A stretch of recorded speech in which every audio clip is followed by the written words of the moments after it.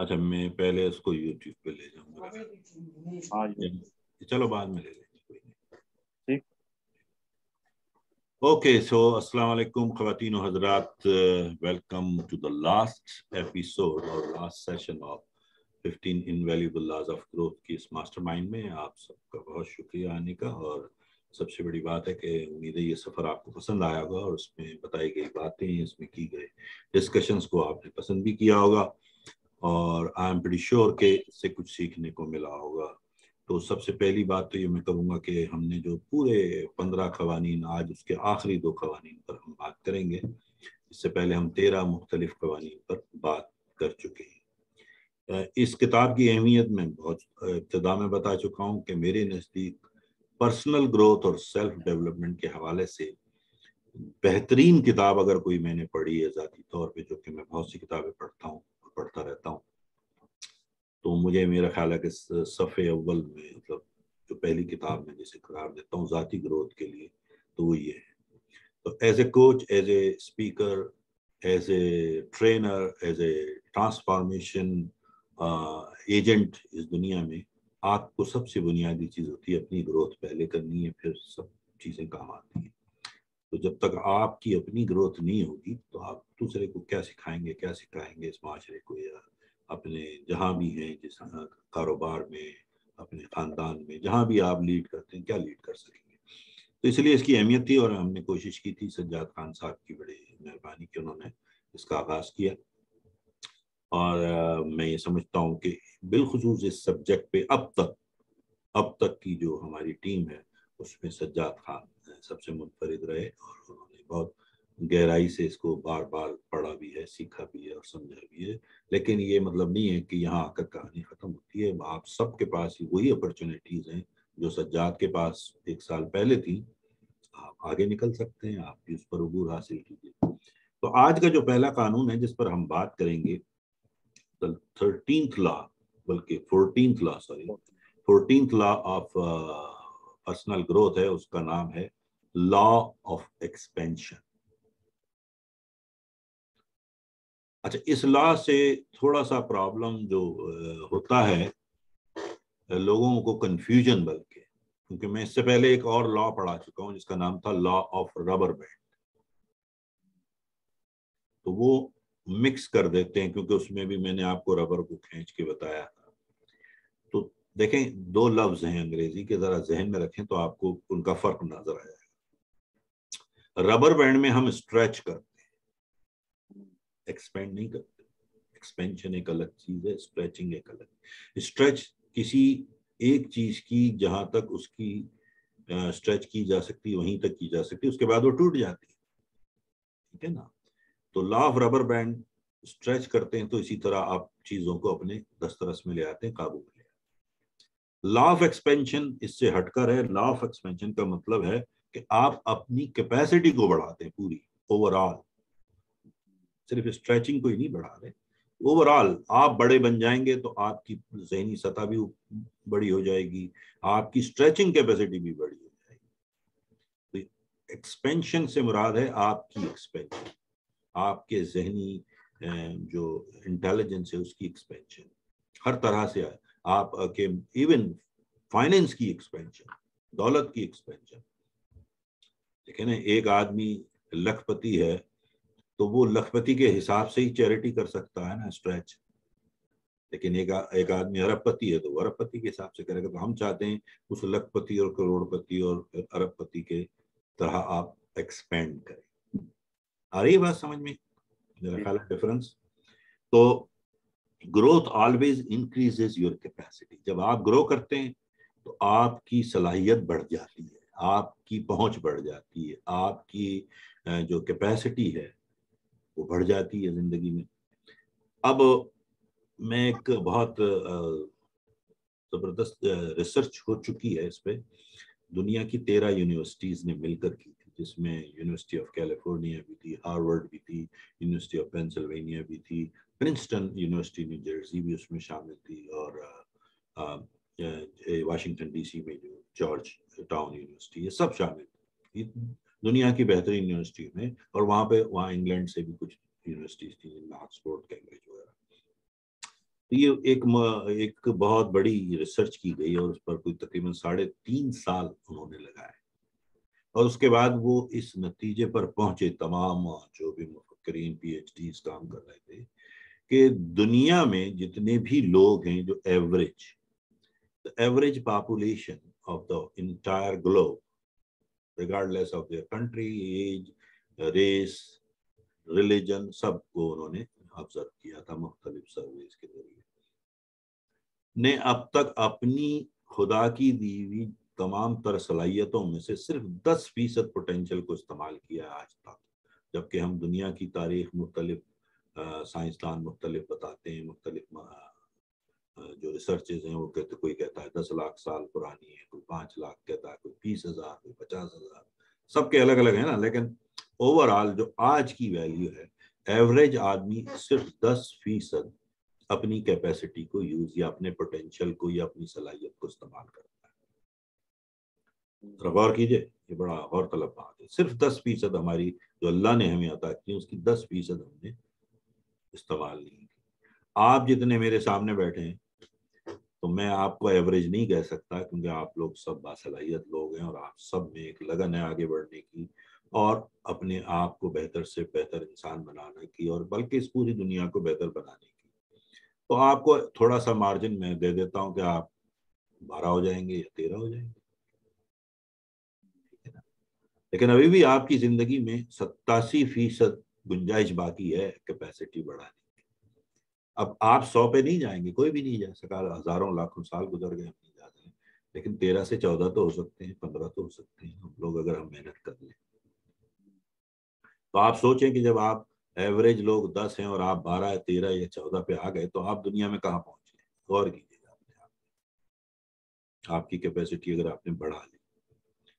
तो गौर कीजिए, ये बहुत इम्पोर्टेंट बात है। अब हमें क्या सीखना है इसमें? कि हमें वो कोने पकड़ने हैं जिनसे हम उसे एक्सपेंड कर सके। देखे ना जैसे चीज़ों के कोने होते हैं ना, उनको हम जब पकड़ के खींचते हैं तो कैपेसिटी बढ़ती है उसकी। तो हमें अपनी ज़िंदगी की और अपने जहनी सतह की और अपनी अकली सतह की, उन कोनों पे नज़र रख के उन्हें उनकी कैपेसिटी को बढ़ाना है। और वो कैसे किया जाए? तो उसके कुछ उसने बड़े खूबसूरत उसूल बताए बड़े आसान से। उसका सबसे पहला यह है। और ये बड़ा तारीखी जुमला है, उसका मैंने उसके मुँह से कई कई बार सुना है अपने साथ बैठे तो वो यही कहते हैं कि stop thinking more work and start thinking what work यानी ये सोचना छोड़ दें कि मैं और ज़्यादा काम करूँ, मेहनत करूँ। जैसे हमारे आम होता है ना, बस मेहनत किए जाओ। तो अगर यही क्राइटेरिया होता अपनी ग्रोथ का और आगे बढ़ने का या अपनी कैपेसिटी बढ़ाने का तो फिर पाकिस्तान और सोमालिया को दुनिया का अमीर तरीन मुल्क होना चाहिए। तो यहाँ देखा है आपने किसी, कभी जाकर सड़कों पे वो मजदूरों को जो मनों का, टनों का वज़न उठा के बेचारे जा रहे होते हैं, वो सबसे गरीब लोग होते ठीक है ना? तो काम बढ़ा लेने से आपकी कैपेसिटी या आपकी काबिलियत नहीं बढ़ती, बल्कि काम वो करें जो काम करता हूँ गौर कीजिए। तो stop thinking more work and start thinking what works यानी ये ज़्यादा काम करने की बजाय, सोचने की बजाय, ये सोचे कि क्या चीज़ काम करती है, बस मैं वही करूँ। आप देखें, वही लोग अमीर होते हैं, वही लोग बेहतर होते हैं, वही लोग कामयाब होते हैं, जो सिर्फ़ वही काम करते हैं जो काम कर सके। हम फजूलियात में बड़ा वक्त जाए। हमारी आधी ज़िंदगी क्या? तीन, दो तिहाई ज़िंदगी सिर्फ़ इन्हीं कामों में गुजर जाती है, जिसमें कोई ग्रोथ ही नहीं होती और हम लगे रहते हैं सारी सारी उम्र।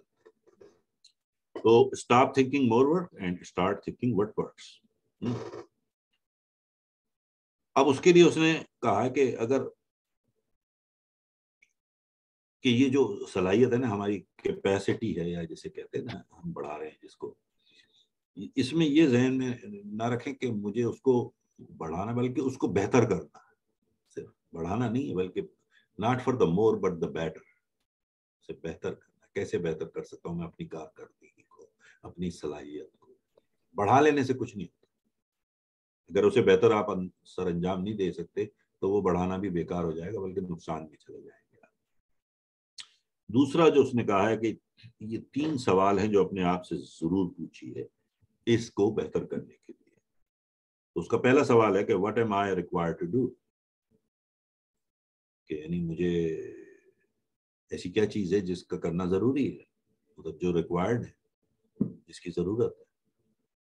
आप सोचिए, जो भी काम, जिस काम में भी आप अपनी कैपेसिटी को बढ़ाना चाहते हैं तो उसमें आप खुद सोचिए, अपने आप से सवाल कीजिए कि वो क्या अवामिल हैं कि जो मैं कर लूँ तो मेरी ये कैपेसिटी बढ़ सकती है? नंबर एक। फिर दूसरा what give me the greatest return और उसी के साथ तीसरा सवाल है कि what gives me the greatest reward अब यहाँ दोनों चीज़ें अजीब सी लगती हैं कि रिटर्न और रिवॉर्ड तो मिलते हाँ। जुलते से लफ्ज लगते होंगे शायद आपको। ये तो मुख्तलिफ़ लफ्ज रिटर्न क्या होता है? अगर आप देखें बिज़नेस परस्पेक्टिव से आप लोग सारे बिज़नेस कोच हैं और बिज़नेस कोचिंग के लिए आगे बढ़ रहे हैं तो बिज़नेस में रिटर्न का लफ्ज कहाँ इस्तेमाल होता है? चलें कोई बताए। इन्वेस्टमेंट एंड रिटर्न जी। देखिए कोई भी बिज़नेस आप करते हैं उसमें एक इन्वेस्टमेंट करते हैं और उसके उसका जो मुनाफा होता है उसे रिटर्न कहते हैं। रिवॉर्ड क्या होता है फिर? तो मेरा ये सवाल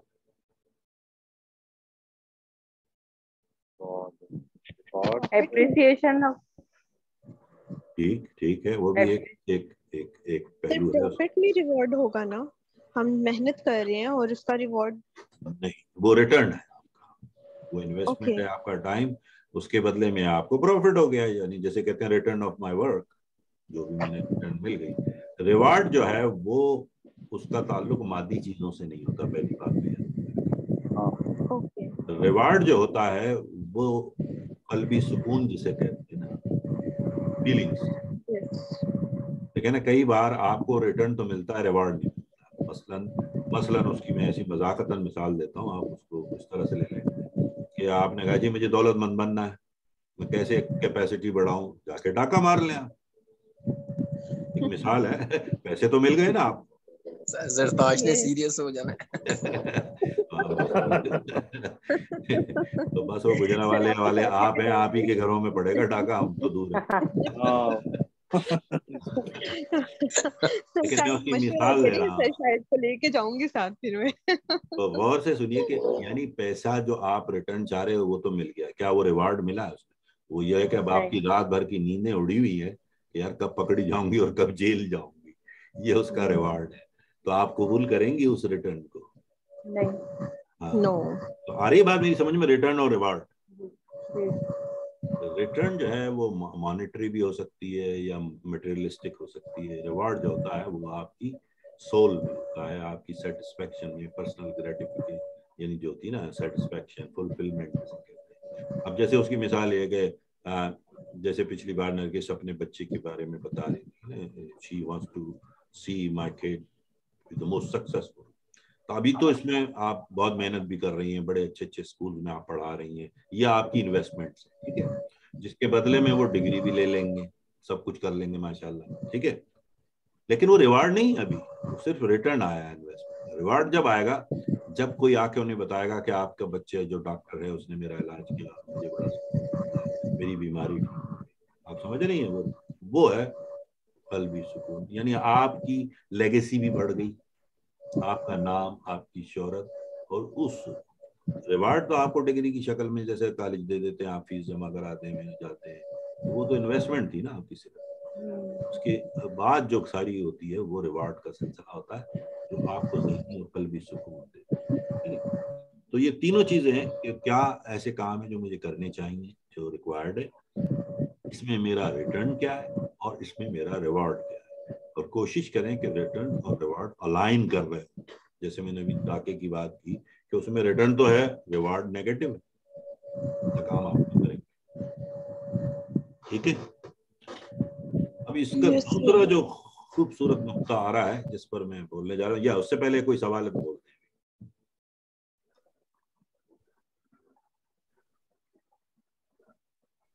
कोई? ठीक है क्लियर एवरीथिंग जो मैंने कहा? दूसरा बहुत ही खूबसूरत नुकता है जरा। ये ज़िंदगी का, ये समझने की बहुत बड़ा लेसन है, जो मैंने भी एक दौर में सीखा। और मैं चाहता हूँ अगर आप, अव्वल तो आप सब लोग जहीन हैं, आपको ज़रूरत नहीं है, लेकिन अगर है तो ये सीख लें अभी कि stop thinking can I and start thinking how can I can I जैसे आप देखें ना, ज़िंदगी में हम हम अक्सर कहते हैं कैन आई डू दिस क्या मैं कर सकता हूँ? ऐसा होता है ना ज़िंदगी में बहुत सारे काम होते तो when you ask can I do this इसमें दो पहलू होते हैं। एक तो ये होता है कि आप सस्पिशियस हैं कि कैन आई डू दिस और दूसरा, इसमें सबसे बड़ी चीज़ जो होती है कि आप सवाल कर रहे हैं कैन आई मतलब आप you are not sure yet आप इसी मतलब आप तजब्जुब का शिकार हैं। अब कैनाय का लफ्ज में क्या होता है? जवाब क्या आएगा? कोई भी चीज़ के बारे में है? दो ही जवाब होंगे यस या नो यस सर नो तो वहाँ पे आपकी मतलब उस सवाल का जवाब मिल गया तो आप आगे क्या बढ़ेंगे? ठीक है? लेकिन अगर उसी सवाल को बदल के पूछे हाउ कैन आई अब शक वाली गुंजाइश तो बाकी नहीं क्योंकि फैसला तो मैं कर चुका हूँ मैंने तो करना ही है मैं तो ये ढूंढ रहा हूँ कैसे? ठीक है? क्या मैं कर सकता हूँ वाली बात तो खत्म हो गई ना। मैं तो ये देख रहा हूँ, कैसे कर सकता हूँ? यानी मतलब मैंने करना है। आई मेड माई डिसीज़न ठीक है? तो आप डायरेक्टली सेकेंड स्टेज पे पहुँच जाए। तो ये जो है ना, ज़िंदगी में ये सवाल ना किया करें अपने आप से can I do this can I do that no just think how can I और जब how can I do that का मतलब होता है तो वहाँ से आपकी वो जो एक्सपेंशन के हवाले से आपकी जहन की कैपेसिटी बढ़ना शुरू हो जाती है, क्योंकि अब आप अपने आप को चैलेंज कर रहे हैं। कैन आई अब किसको चैलेंज कर रहे हैं? हाउ कैन आई मीन्स अपने आप को चैलेंज कर रहे हैं। तो जब तक ज़िंदगी में चैलेंज नहीं करेंगे अपनी जात को, कैसे नए रास्ते खुलेंगे, मुझे बताइए। खुल सकते हैं, अगर आपने अपनी जात को चैलेंज ही नहीं किया, जहाँ हैं, जहाँ बैठे हैं और जैसे हैं कि बुनियाद पे आप चल रहे हैं कि यार बस चल रही है, कट रही है। तो आप वहीं खड़े रहेंगे ना। तो ये तो एक्सपेंशन की बात हम कर रहे हैं तो एक्सपेंड कब करेंगे अपने आप को? जब हम अपने आप को जो है ना चैलेंज करेंगे। कि how can I rather than can I means I don't know I am not sure अपने बारे में ही आपको शक है। ठीक है? जी, आप में से किसी ने शायद हाथ उठाया था या कुछ? ओके ठीक है आर यू क्लियर जी जी। ओके यस सर ओके तो ये जहन में रख लें ज़िंदगी में कि आज के बाद हम अपने आप से ये नहीं पूछेंगे can I do this can I do that no how can I do this simple देखते हैं। तो अब अपने आप को चैलेंज करने की आदत डालिए। जैसे इसके बारे में मैंने एक कॉल भी इसमें इसने डिस्कस किया है जो मैं बाकायदा बता दूँ कि ये ये एक कोड है। रॉबर्ट शूलर साहब का और वो अभी चंद साल पहले वो उनकी डेथ हो गई। तो वो एक प्रीस थे कैलिफ़ोर्निया का कैथेड्रल चर्च के बहुत बड़े, कई किताबों के मुसनफ़ हैं और एक ज़माने में मैं बड़ा उनका बहुत बड़ा फ़ैन था। और हर संडे को एक शो करते थे आवर ऑफ़ पावर जो डायरेक्ट टेलीकास्ट होता था लाखों लोग उसको देखते थे। So I was big fan of him तो उनका ये कोड है कि इफ़ आई अश्योर यू या मैं आपको ये यकीन दिला दूँ कि आप फेल नहीं होंगे तो फिर आप क्या करेंगे? ठीक है? मतलब आपको ये एश्योरेंस दे दी गई है, फारूक भाई, कि आप फेल नहीं होंगे, नरगिस, आप फेल नहीं होंगी तो फिर आप क्या करेंगे? क्योंकि हमारी ज़िंदगी में 90 परसेंट काम हम सिर्फ़ इसलिए नहीं कर पाते कि यार कहीं फेल ना हो। यही होता है ना? तो इसीलिए मैं नब्बे फ़ीसद कामों से इस तरह बरतते हैं यार पता नहीं कामयाब हो नहीं हो। लेकिन अगर आपको ये गारंटी हो तो फिर देखें आपकी ज़िंदगी जहाँ है या जो कर रहे हैं उससे दस गुना डिफरेंट काम कर रहे होंगे क्योंकि आपको पता फेल तो होना नहीं है।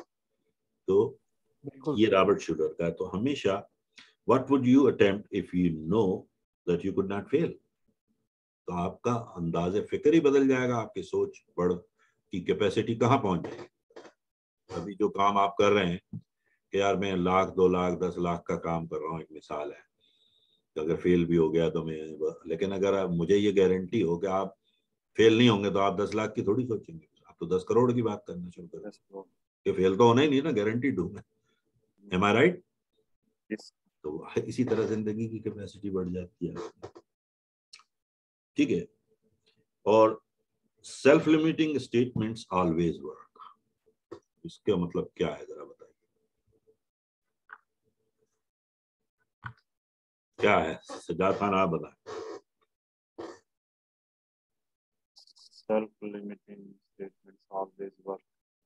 कि जो इंसान का होप होता है जो लिमिट उसके ऊपर तो वो तो काम कर ही रही होती है उसके लिए तो जो जो आप सोचते हैं वही होते हैं जैसे लफ्जों में। तो वो तो ट्रुथ है ना। हाँ, तो आप तो- सोचना बड़ा कर दें चीज़ें बड़ी हो जाएँगी। हम्म, जब आपकी सोच छोटी है तो आपकी पहुँच भी छोटी होगी आपकी जो पैमाना है वो है ही आपका वो। अगर आप जैसे मैंने मज़ाक में वो लिखा था आपने पढ़ा होगा फेसबुक पे कि आप दरिया के किनारे जो है छलनी लेकर चले जाएँ या चाय का चमचा लेके भाप के इंजन वाले बेलचे की बजाय तो क्या आग लगेगी जिसम? में कुछ भी नहीं लगेगी। हाँ। साइड कैसे होंगे आप? चीज़ें कैसे अकाम्प्लिश करेंगे? नहीं कर सकते। ठीक है? तो मतलब है कि लिमिटिंग बिलीफ को सिर्फ़ स्टेटमेंट जो भी आप दे रहे होंगे अपने बारे में कि यार मैं तो यही कर सकता हूँ तो फिर आप यही कर सकते हैं। इससे ज़्यादा नहीं कर सकते। तो first you have to get out of those self limiting statements आपकी कोई लिमिट नहीं, आप लिमिटलेस है। अल्लाह ताला ने आपको इनफाइनेट इंटेलिजेंस दी है, बस ये याद रखें। ठीक है? फिर दूसरा है कि अब इसमें दो चीज़ें हैं। एक होता है कभी आपने घरों में जैसे आप लोग अब एयर कंडीशनिंग लगाते हैं सारों के घरों में। तो आपने देखा ना एक होता है थर्मोस्टेट जिसपे आप टेम्परेचर सेट करते हैं। देखा है? सबने। एक होता है थर्मामीटर क्या होता है जरा बताइए जरा बताइए। थर्मामीटर तो वो है ना कि वो आप अपने अपना टेम्परेचर टेस्ट करते हैं बॉडी तो हमारे यहाँ नाइन्टी परसेंट लोग थर्मामीटर लिए घूम रहे होते हैं। थर्मोस्टेट पे काम नहीं करते कि हम चाहें जैसा टेम्परेचर सेट कर लें अपने मिजाज के मुताबिक। होता है ना? उसमें आपको गर्मी सर्दी जैसा भी है उसके हिसाब से आप सेट कर लें। तो लाइफ और अपनी ज़िंदगी में भी थर्मामीटर से ज़्यादा थर्मोस्टेट बनी है। हाँ एक टारगेट सेट करें। हाँ जहाँ भी आपको जाना है।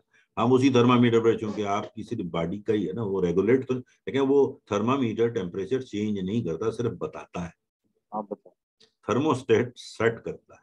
तो आपने कहा जाना है कि as a leader as a grown man as a capacity builder क्या करेंगे? जहाँ भी आप पढ़ा रहे हैं जहाँ भी आप सिखा रहे हैं जिनको भी आप देना चाहते हैं हेल्प उनकी कैपेसिटी को बढ़ाएँगे ना? कैसे बढ़ाएँगे? तो you have to be act like thermostat not the thermometer आ रही है बात समझ जी। आर यू क्लियर बिल्कुल यस अब वही जैसे उसकी उन्होंने फिर आगे कहा कि don't confuse the need to correct with failure अब वो वही बात है जो मैं हमेशा कहता हूँ कि हम फेलियर की डर से अपनी जरूरियात को आगे पीछे करना शुरू हो जाते हैं। दूसरे लफ्जों में मैं सैकड़ों बार आप मेरे मुँह से सुन चुके हैं कि हम अपने गोल्स को छोटा करना शुरू कर देते हैं, अपनी शख्सियत में कमी लाना शुरू कर देते हैं, अपनी जो, नहीं नहीं नहीं फेल होने का ये मतलब नहीं है कि आप अपने गोल्स छोड़ दें, कि उससे सबक सीखें और उससे बड़ा गोल बनाएँ। How you are going to bounce back ठीक है, तभी आपकी कैपेसिटी बढ़ेगी। ये बहुत खूबसूरत अगला नुकता है, इसको भी बड़े गौर से सुनिएगा और ये जरा आप समझिएगा कि stop thinking one door and start thinking many doors यानी ये ना सोचें कि यही एक दरवाज़ा है, बल्कि जहन में रखें कि बहुत से और दरवाजे भी मसलन एक चीज़ मैं आपको आज बताता हूँ जो आपके तजुर्बे में होगी।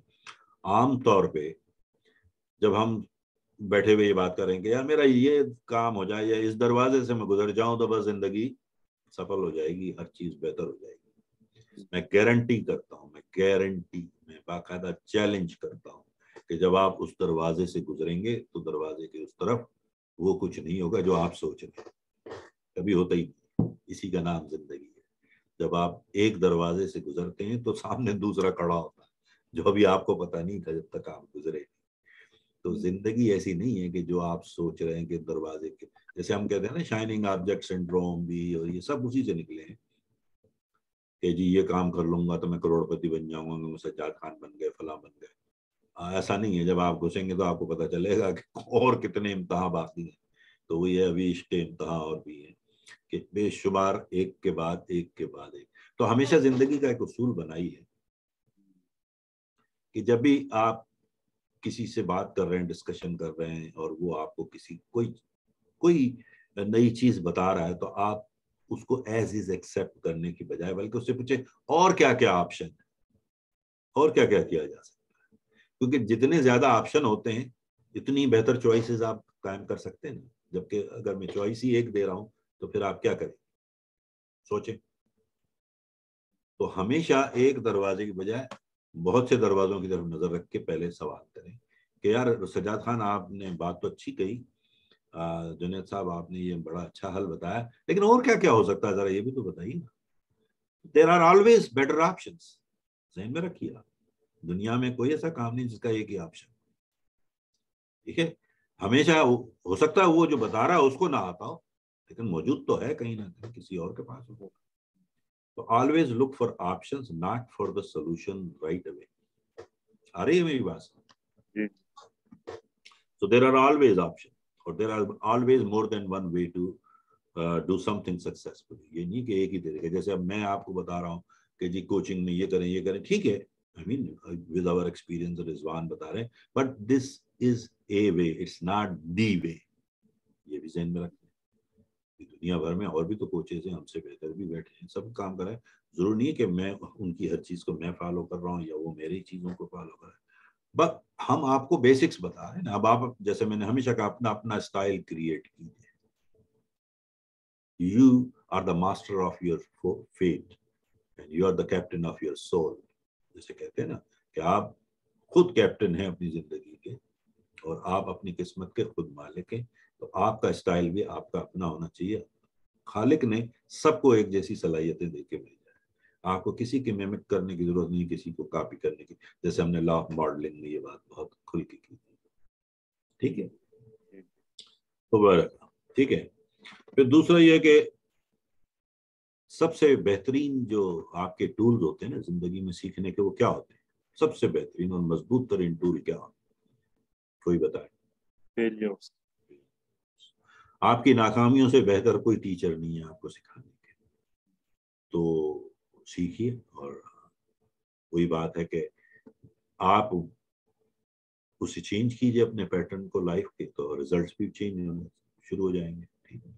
तो ज़िंदगी को जिस जाविये से आप देखते हैं, ज़िंदगी वैसी ही नज़र आती है। आप अपने देखने का एंगल बदल लें, ज़िंदगी के आपको मुख्तलिफ़ अंदाज से नज़र आने ठीक है?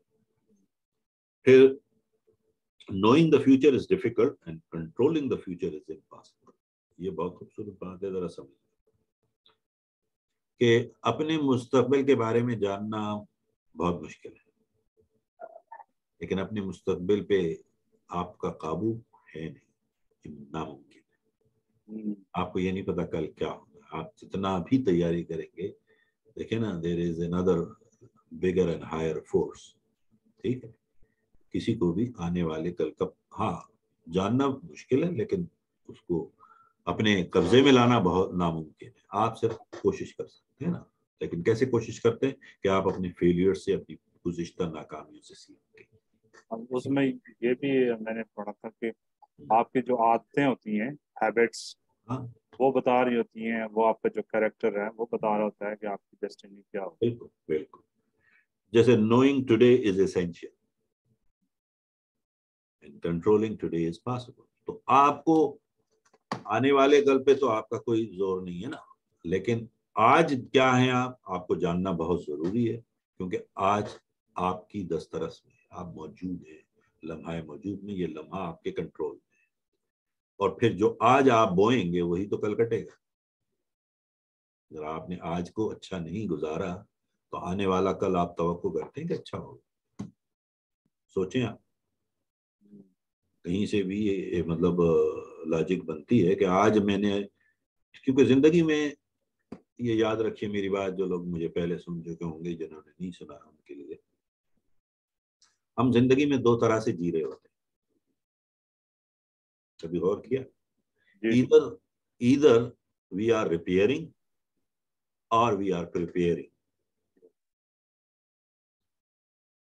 या तो हम रिपेयर कर रहे होते हैं या प्रिपेयर कर रहे होते हैं।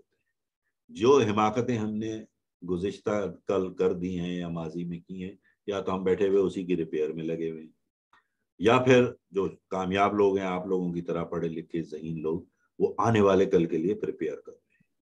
तो अगर आप आने वाले कल के लिए प्रिपेयर आज कर रहे हैं तो क्या आपको कल रिपेयर करना पड़ेगा? सोचे। तो आप कुदरती आपकी कैपेसिटी बढ़ गई और आप आगे बढ़ गए ना? और आ, आप बिल्कुल एक अलग फ़ेज़ में चले गए दुनिया में। आप एवरेज तो नहीं रहे फिर आप। आप तो लीड कर रहे होंगे दुनिया को। आ रही बात समझ में? तो try to prepare for tomorrow rather than preparing for yesterday ये याद रखिए ठीक है। सक्सेस रिज़ल्ट ऑफ़ हाँ success is the result of continued action fuelled with continual adjustments ये तो अभी हम कह चुके हैं कि ज़िंदगी क्या है? देखिए, ज़िंदगी एक सफ़र है मुसलसल। मंजिल का नाम तो है नहीं, हम जैसे पहले कह चुके हैं। ज़िंदगी या कामयाबी जो है, एक सफ़र है। मंजिल नहीं है, जहन में ज़िंदगी की भी कोई मंजिल नहीं है। आपको क्या पता है, कल क्या होना है? किसी को पता है? नहीं है ना, हम पहले कह चुके हैं। और ना ही हमारा कंट्रोल है उस पर लेकिन हमारा कंट्रोल आज पे तो है। जो हम बोएँगे वही मिलेगा, ये जहन में रख लें आप। इफ़ यू सो दस हाउ यू रीड तो ये तो हम कर सकते हैं। तो अगर आप कंटिन्यूअली जैसे आप अपने आप के जो अमाल हैं, उसको कंटिन्यूअल एडजस्टमेंट करते रहेंगे, यानी वो रास्ते को तय करेंगे। अब जैसे आपने देखा ना, एक सब मैरीन जाती है तो उसमें बाकायदा उसको टारगेट किया जाता है कि फला जगह जाके हिट करे। तो आप क्या समझते हैं वो सीधी चली जाती है पानी में? पानी में तो बड़ी बड़ी रॉक्स सकती हैं तो उनसे बचती बचाती लेकिन जा वही नहीं होती जहाँ उसको टारगेट किया गया है। हाँ। और जाके उसको हिट करती है। इसी तरह जो है हाँ तो वो इसी तरह जाते हैं ना सबमरीन से। इसी तरह जैसे आप ज़िंदगी में भी मंजिल का तयन ज़रूर करें अपने लिए लेकिन रास्ते इधर उधर होते रहेंगे एडजस्ट करते रहेंगे आप। तो कई जगह आप घर से निकले कहीं जाने को जहाँ भी जाना है वो मंजिल है आपकी लेकिन पता चला आगे रोड बंद है या कंस्ट्रक्शन हो रही है एक्सीडेंट हो गया तो आप वहीं तो नहीं खड़े हो जाएँगे ना आप दूसरी गली से निकल के चले जाएँगे डिटोर लेके लेकिन जाना वहीं है। हम्म। के। इसी तरह आपकी ज़िंदगी में भी आपको आगे बढ़ना है ना इसीलिए तो ये सब कर रहे हैं आप। तो आप अपने आप को स्टॉप नहीं करेंगे बल्कि अल्टरनेट राउट्स की तलाश में रहेंगे कंटिन्यूली एडजस्ट करेंगे, कहीं स्लो हो जाएँगे, कहीं तेज हो जाएगी ट्रैफ़िक कहीं स्लो हो जाएगी चलते रहेंगे आप, लेकिन रुकेंगे नहीं। ठीक है? दैट्स ऑल इट टेक्स फिर उससे अगला पॉइंट बड़ा अच्छा है कि how to increase your capacity of action ये सीखना बहुत ज़रूरी है ना हर एक को कि हम कैसे बढ़ाएँ अपनी कैपेसिटी को। तो उसका सबसे बुनियादी जो खूबसूरत उसूल इसने बताया, वो है, और ये मतलब पल्ले बाँध लें अपनी ज़िंदगी के मामले में, कि stop doing only those things you have done and start doing those things which you could and you should यानी वो तमाम चीज़ें जो आप करते रहे और कर चुके हैं उनको तो करना बंद कीजिए। बल्कि आप गौर कीजिए कि मैं क्या कर सकता हूँ और मुझे क्या करना चाहिए। बजाय इसके कि वही काम दोहराते रहे जो आप कर चुके हैं तो नतज क्या होंगे? वही होंगे जहाँ हैं आप। सेम वही इंसैनिटी की जो डेफिनेशन है कि doing the same things expecting different results it's not going to happen you have to do something different to get the different result इसीलिए वो काम करने के बजाय वो बार बार उसे को दोहराने की बजाय आप उसे रोक कर सोचे कि मैं, मुझमें, मैं क्या कर सकता हूँ और मुझे क्या करना चाहिए? उस पर गौर कीजिए। ठीक है? तो stop doing those things which you have done and start doing those things you could and you should do. फिर उसके बाद आगे चलते हैं। उसका अगला नुकता उसने जो बताया बड़ा खूबसूरत है। Stop doing what is expected of you and start doing more than is expected. ये भी बहुत बड़े अलमिया है हमारे पूरे आज के दौर के और वैसे भी हमेशा भी रहा है, लेकिन आजकल ज़्यादा है। कि हम लोग उतना भी काम नहीं करते जितनी हमसे तो की जाती है।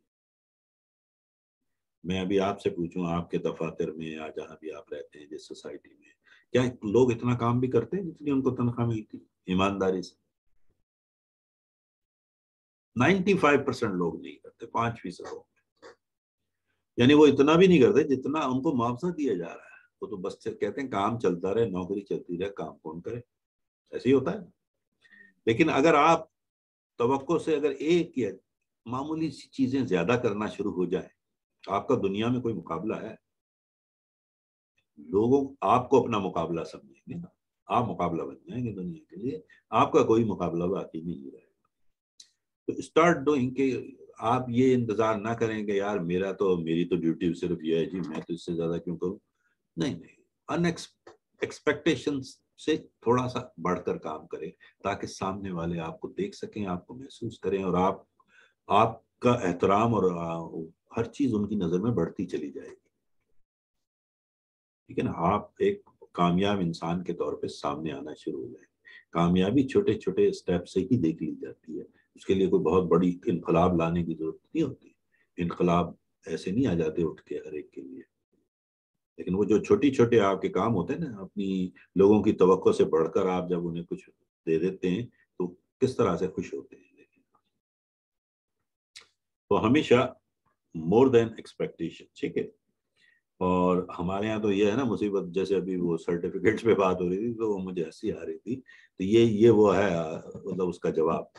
कि सर सर्टिफिकेट कब मिलेगा जल्दी मिलेगा कैसे मिलेगा फला मिलेगा। तो भाई अगर आपने सीखा है तो ले लो वरना तो फिर आप मतलब आपने किया क्या ये ज़्यादा ज़रूरी है ना कि आजकल हमारे यहाँ तो पार्टिसिपेशन का सर्टिफिकेट बहुत आम है ना हर चीज़। में यानी हम हारने वाले को भी सर्टिफिकेट दे रहे होते हैं। भाई वो तो हारा हुआ है।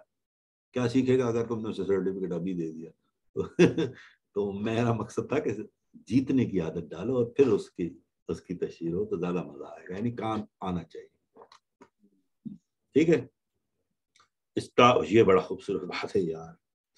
ये ये एक और हमारी ज़िंदगी का सबसे बड़ा ड्रॉबैक है।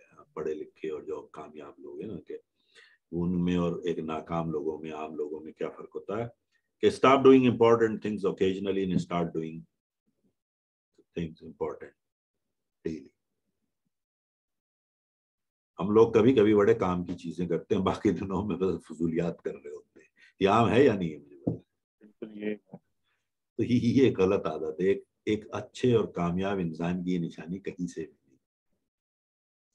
तो ऐसी चीज़ें जो लघवियात हैं फजूलियात हैं उनसे जान छुड़ाएँ और रोज़ाना की बुनियाद पे रोज़ाना लफ्ज क्या है? रोज़ाना। एवरी डे की बुनियाद पे काम की चीज़ें करना शुरू कर दें आप। आप सोचें कि आप कामयाब होंगे या नहीं होंगे।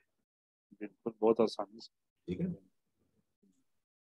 तो ये एक बहुत इंपॉर्टेंट चीज़ है कि आप हमारे यहाँ क्या होता है कि वो पहले से मेरा कैलेंडर बुक है। अच्छा जी क्या क्या है जरा देखें। यार वो अब पूरे दिन मैं बिज़ी हूँ। अच्छा देखें। अब आप देख रहे हैं कितने हैं नाइन्टी नाइन परसेंट लोगों का वो कैलेंडर जिसमें पचास काम लिखे होंगे उस दिन के लिए, उनसे एक्चुअल काम के तीन चीज़ें ही होंगी, बाकी सब फजूलियात होंगी, लघुयात होंगी। और फिर वो उस दिन सुबह उठ के उसके अपने प्लानर को देख रहे होंगे, यार पहले क्या करूँगा क्योंकि उन्होंने सारी चीज़ें जो है ना, लिख तो ली है। अब उसे प्रायोरिटाइज करने बैठे में वो एक घंटा उसमें गुजार दिया दिन का पहले क्या होगा, पहले बाद में क्या होगा। वो भाई मेरे, आप सिर्फ़ लिखें वो काम जो प्रायोरिटीज हो। बाकी को लिखने की ज़रूरत ही नहीं क्योंकि आपकी पूरे दिन के स्केजुअल में आप कोई भी, मैं चैलेंज कर रहा हूँ आप सबको, सब बड़े कामयाब लोग हैं। आपके पूरे 24 घंटे में सिर्फ़ बीस परसेंट टाइम ही ऐसा होता है जिसमें आप प्रोडक्टिव होते एट्टी परसेंट आप फजूलियात में होते चाहे आप माने ना माने। अगर गौर करें लेकिन वो बीस परसेंट में किया हुआ काम आपको उस दिन का एट्टी परसेंट रिफंड दे देता है, आपको रिटर्न दे देता है। क्योंकि वो दो बड़े काम आपने ऐसे कर लिए बीस में से ये आप समझते हैं दिन मेरा बड़ा अच्छा गुजर गया। यानी मैं तो अहम काम मैंने कर लिया। गौर करें आप कभी। होते वो दो या तीन काम होते हैं। सारा दिन हर काम आपने बहुत प्रोडक्टिव नहीं किया होता या उसका रिज़ल्ट कोई या रिटर्न इतना बड़ा नहीं होता। तो कोशिश करें कि सबसे जो हाई रिटर्न जो आपकी इन्वेस्टमेंट है, जो क्योंकि दुनिया में सबसे कीमती चीज़ है क्या आपके पास? तो उसकी इन्वेस्टमेंट सही होनी चाहिए ना, ताकि उसका रिटर्न भी उतना ही बड़ा है। तो उसको इन्वेस्ट करना सीखें फिर जैसे पिछले उसमें उसने कहा था कि how to increase your capacity तो उसमें उसने चीज़ मैं भूल गया था बताना कि जो भी आप करते हैं मतलब एक्सपेंशन तो हमेशा कोशिश करें कि अपनी कंफर्ट जोन से बाहर आए और अपनी स्ट्रेंथ जोन को अपने साथ रख के बढ़ाएँ। यानी कोई एक्सपेंड जब जैसे मैंने स्ट्रेचिंग बताई थी रबर बैंड में, क्या था कंफर्ट जोन से बाहर आना। लेकिन अब आप, आपकी कैपेसिटी भी बढ़ गई है। तभी बढ़ेगी जब आप अपने कंफर्ट जोन से बाहर आएँगे थोड़ा सा स्ट्रेच तो करेंगे जिस लेवल पे भी ठीक है, अगला, उसका बहुत अच्छी बात उसने क्या कही है कि when is the time to not do important things? पता ठीक है ना? रही बात? समझ में नहीं? बिल्कुल सही है। हाँ। देखिए ये जो लॉ है ये तो बहुत सिंपल है लेकिन ऐसी चीज़ें हैं हाँ। कि आपको आप सही रिलेट कर सकते हैं अपने आप लेकिन सबसे बड़ी चीज़ है कि आप इसने बहुत खूबसूरत जुमला लिखा हुआ ये याद रखिए और ये इसी को अहमियत दीजिए कि remember success is determined in your daily plans कामयाबी रोज़मर्रा की छोटी छोटी चीज़ों से आती है। किसी एक दिन के किए हुए काम से नहीं आती है, कि वो कोई इवेंट नहीं है। ये डेली प्लान होता है, जो आपको लेके जाता है ऊंचाई की तरफ़, बुलंदियों की तरफ़। यानी रोज़ाना जो छोटे छोटे कदम उठाते हैं आप, वही तो सबसे बड़ी कामयाबी की दलील देते हैं ना। ये नहीं है कि मैं एक दिन सो के उठा और मैं इनकलाब ले आऊँगा ज़िंदगी में, और लोगों की ज़िंदगी में और दुनिया भर में, ऐसा कोई नहीं होता। हाँ इसकी मिसाल इस तरह से भी हम दे सकते हैं, जैसे एक बंदे को शौक चढ़ा के मैंने हैंडसम होना है ठीक है? हम्म। वो पहले दिन ही दो चार किलोमीटर दौड़ के आ गया दूसरे हफ़्ता महीने बाद गया दोबारा। तो उससे तो कोई इम्पैक्ट नहीं पड़ेगा। ये कि अगर वो डेली एक किलोमीटर दो किलोमीटर चलता है तो उससे तो फ़र्क पड़ेगा। मैंने बताया ना कि जितना जितना आप ज़्यादा more you know more you know that you don't know ये हाँ। जैसे जैसे आप आगे बढ़ते हैं आगे ज़्यादा पढ़ते हैं तो आपको अंदाज़ा होता है कि मैं मुझे तो कुछ आता ही नहीं।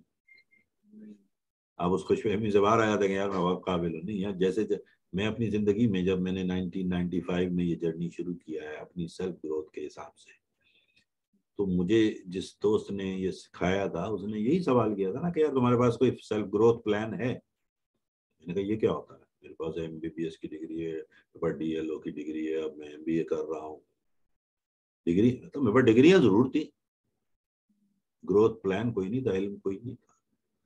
डिग्रीज थी, लेकिन मैं जाहिल था, दूसरे लफ्जों तो फिर उसने मुझे उस एक नया शौक जगाया कि किताबें पढ़ा करो, ये करो, वो करो। उसने थोड़ा सा रास्ता दिखाया और मैंने उसे पे अमल करना शुरू किया।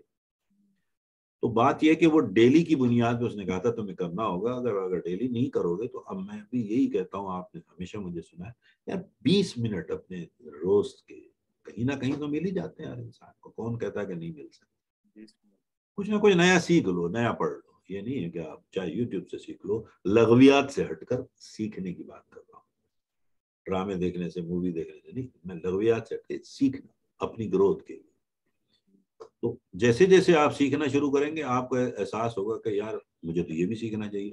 आप मुझे बताएँ कि आपने थिंक एंड ग्रो रिच में मेरे साथ शुरू किया था सज्जाद।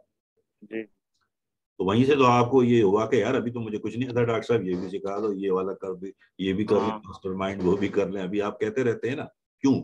क्योंकि आपको फिर पता चलता है कि यार मैं किस हॉल में बैठा हूँ ये मुझे तो अभी कुछ भी नहीं आता। तो ये अच्छी निशानी है आपकी कामयाबी की कि जब आप ये फील करने लगे कि I as you go above and beyond whatever you were कि यार मुझे तो आपको ज़्यादा एहसास होने लगता है कि यार अभी तो बहुत कुछ सीखना बाकी है। अभी तो मैं कुछ भी नहीं जानता हूँ। जब आप अपने से बड़ों के सामने बैठते हैं तो फिर आपको अंदाज़ा होता है ना कि हम कहाँ खड़े हैं। हम काट बल्कि एक मुझे याद आ गया हेनरी सिंजर का कोट है। कि जब आप एक कामयाबी हासिल करते हैं तो इसका मतलब ये है कि आप एक बिगर चैलेंज के लिए नया टिकट हाँ। खरीद लिया आप। हाँ, हाँ। तो वो बिगर चैलेंजेस जब आएँगे तो फिर आपको जो जो चीज़ें आपके पास नहीं है फिर वो आप हासिल करने की कोशिश करें जैसे whatever you have done always उसके रिज़ल्ट भी वही आएँगे जो आप पहले से करते रहे वही नतज है जैसे हम पहले कह चुके हैं। तो कोशिश करें कि अब वो करना है जो मैंने पहले कभी कुछ नहीं किया, वो काम नहीं किए, ताकि उसके रिज़ल्ट भी उस तरह के आए, ताकि आपकी कैपेसिटी बढ़ जाए।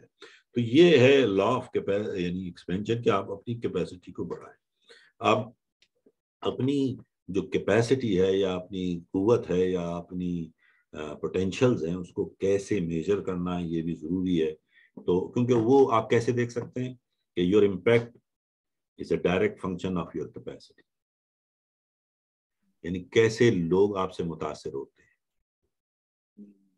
उसी से अंदाज़ा हो जाएगा कि यार मेरी कैपेसिटी कितनी बढ़ाई है मैंने मेरी ग्रोथ क्या हुई है जहनी कि लोग अब मुख्तलिफ़ तरीके से मुझे डील करने लग गए मुझे सुनने लगे गौर से मेरी बात पर तवज्जो दे रहे हैं। नज़र आते हैं ना ऐसे लोग आपकी ज़िंदगी में? कि यार ये शख्स को सुनना चाहिए। क्यों करते हैं आप यूट्यूब पे जाके उनकी वीडियोस देख रहे होते हैं? क्योंकि they grown they are grown and they increase their capacity अब ये तो नहीं वो पैदाइशी सारे ऐसे थे। नहीं नहीं, उन्होंने अपने आप को ग्रो किया कैपेसिटी को बढ़ाया तो वो अब लोगों पे इम्पैक्ट करना शुरू हो जाते हैं। तो आप भी करना शुरू कर दें। और there is nothing in your past that determines your future your capacity must grow तो हमारे यहाँ जो है ना, माजी की बुनियाद पर हम अपने मुस्तबिल का तयन कभी ना करें। ज़िंदगी, मैंने कहा ना, सफ़र मुसलसल है। आप जहाँ पाँच साल पहले थे, आज वहाँ नहीं है। और आने वाले पाँच साल में वहाँ नहीं होंगे, जहाँ आज है। तो आप उनकी बुनियाद पे अपने अपने नाकामियों की या अपने माजी की बुनियाद पे अपने मुस्तबिल का तयन नहीं करें। कि मुस्तबिल और माजी में बहुत ज़मीन आसमान का फ़र्क होगा। और यही आपके अच्छे होने की दलील होगा कि आप वो नहीं हैं जो थे। आप वो हों और वो होंगे जो आपको होना चाहिए।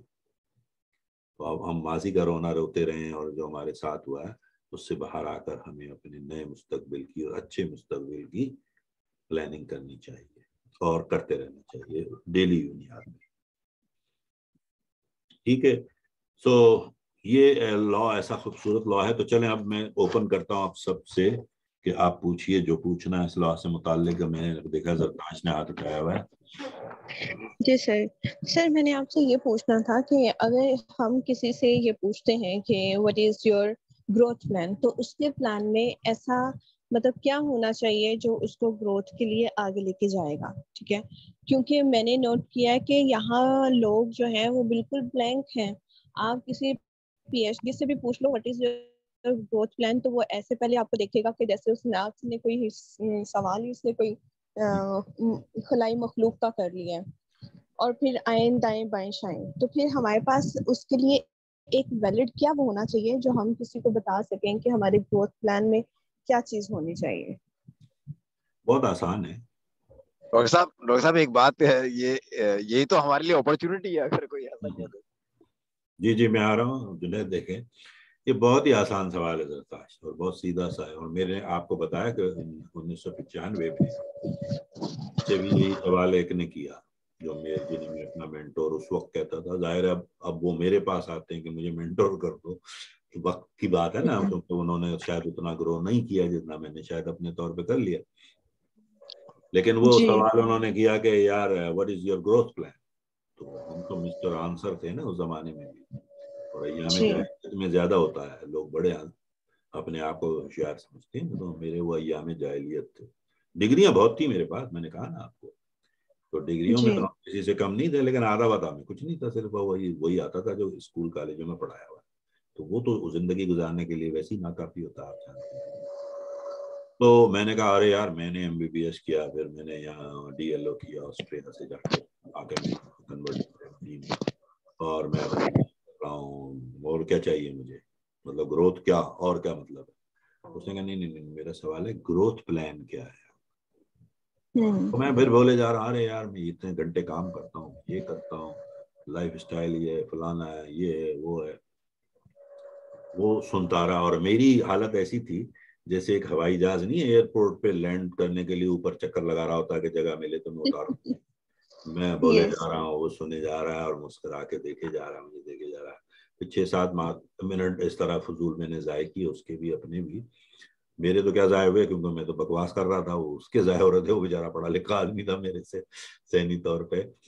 और वो देखे जा रहा था मुझे, जैसे आप लोग कोचिंग में करते हैं ना, बिल्कुल वो कोच था। मैं आपको अभी बता दूँ। लेकिन उसने कोई जवाब नहीं दिया था मुझे कोच कर रहा था मुझे टिपिकल तो फिर मैंने देखा कि अब मेरे जहाज़ का फ्यूल खत्म हो रहा है। कितना बोलूँ? तो बोल बोल के भी जब थक गया तो मैंने लैंड कर लिया खड़ा कर लिया। तो वो फिर हंस के बोला इसका मतलब है you don't have any plan मतलब तेरे कोई प्लान ही नहीं है फजूल इधर उधर घुमा रहा है बातों को। तो इसी तरह हम लोग करते हैं ज़िंदगी में शुरू में हर एक ठीक है? लेकिन अब आप लोग लीडरशिप के रोल्स में आ रहे हैं। तो आपको भी ऐसे ही लोग मिलेंगे ठीक है? उनको पता ही नहीं होगा कि क्या खलाई वाली जैसे आपने बता बातें हो रही हैं। Yes. फिर आप उनसे फिर चंद सवाल ऐसे होते हैं ना कि आप कर सकते हैं एज ए कोच अगेन तो जरा आप अपने बारे में बताइए कि पिछले साल जो भी आज तारीख है मिसाल है जो भी आज 18 जुलाई है क्या सत्रह है जो भी। पिछले साल 18 जुलाई और 2021 में और आज में क्या बुनियादी फ़र्क आया आपके माली मुआशी और माशरती status it's a huge difference मैंने कभी सोचा भी नहीं था कि अल्लाह ताला मुझे इस रास्ते से रोशनास करवाएगा। कोचिंग और मतलब ट्रेनिंग ये चीज़ें वो थी जो मतलब मैं सोचती थी लेकिन समझ नहीं आता था कि है क्या। तो मुझे बहुत ज़्यादा क्लियर हो गया कि मैं चाहती क्या हूँ करना। तो ये क्लियर हुआ और फिर वो रास्ता मिल गया और अल्लाह के फजल से ऐसे मेंटोर मिल गए जो हाथ पकड़ के चलाने वाले हैं।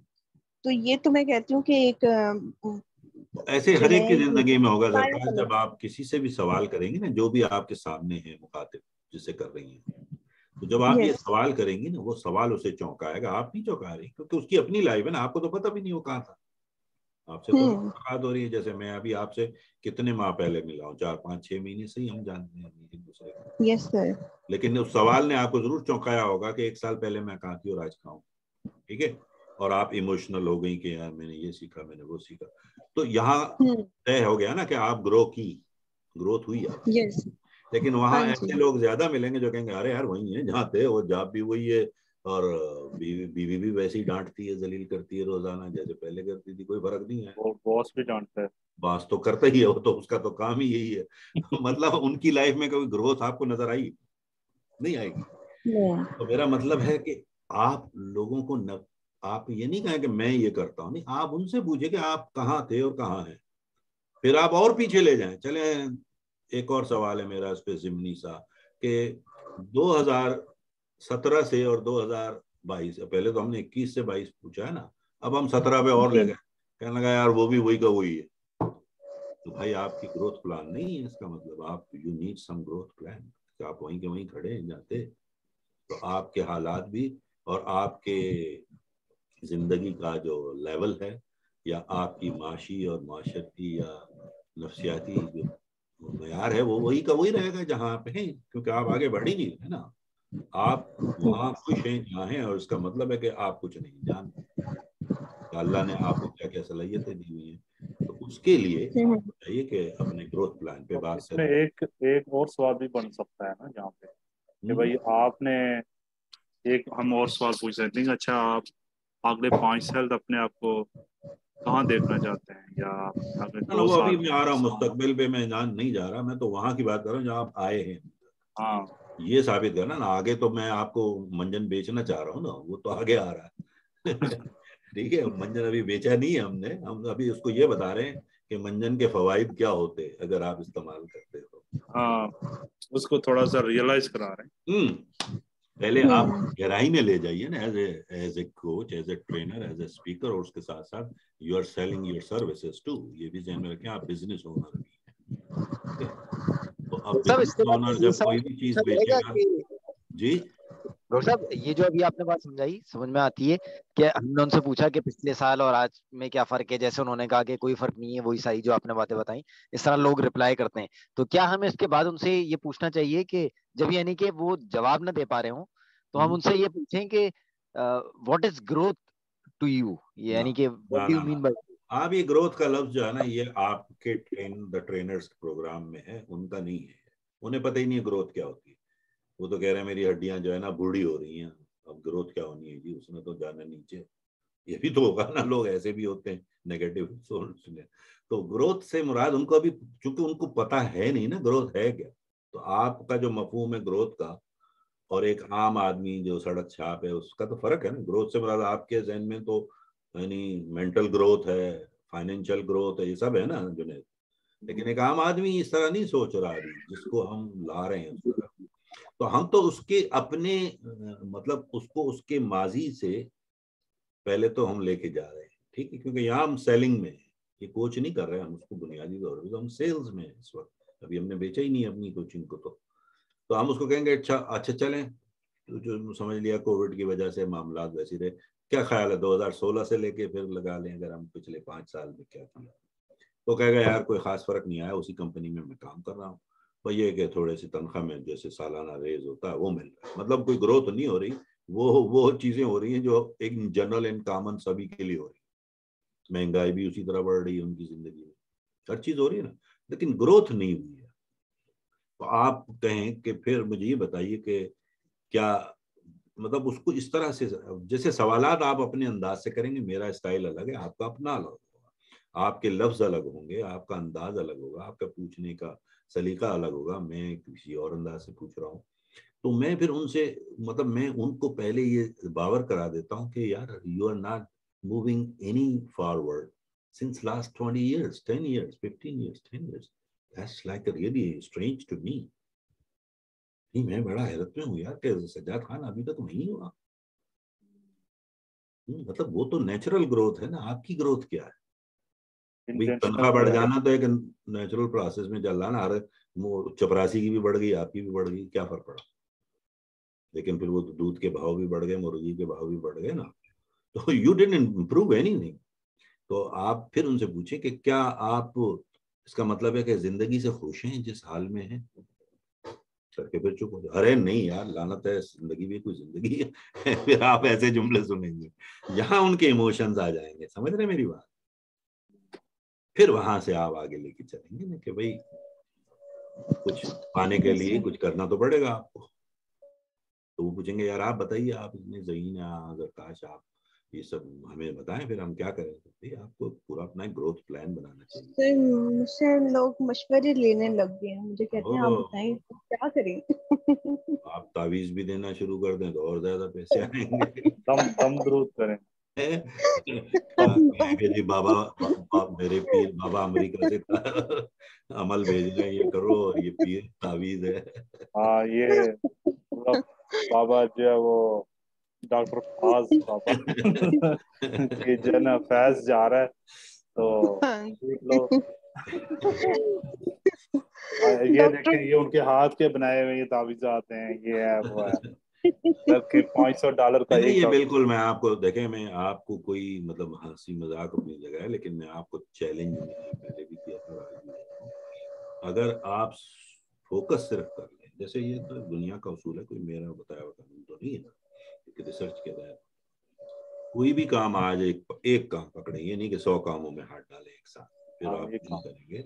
मतलब आप किसी जैसे मैं कल ही किसी से बात कर रहा था तो मैं उनको यही समझा रहा था कि देखें हर काम सीखने के लिए ना चल पड़े और हर एक को सुनना शुरू ना कर दे। जैसे इवन आप यूट्यूब पे भी जाते हैं तो सौ लोगों को सुनना शुरू कर दिए ये बेवकूफ़ी है, क्योंकि फिर वो कान में शोर सुनाई देगा आपको और कुछ नहीं सुनाई देगा।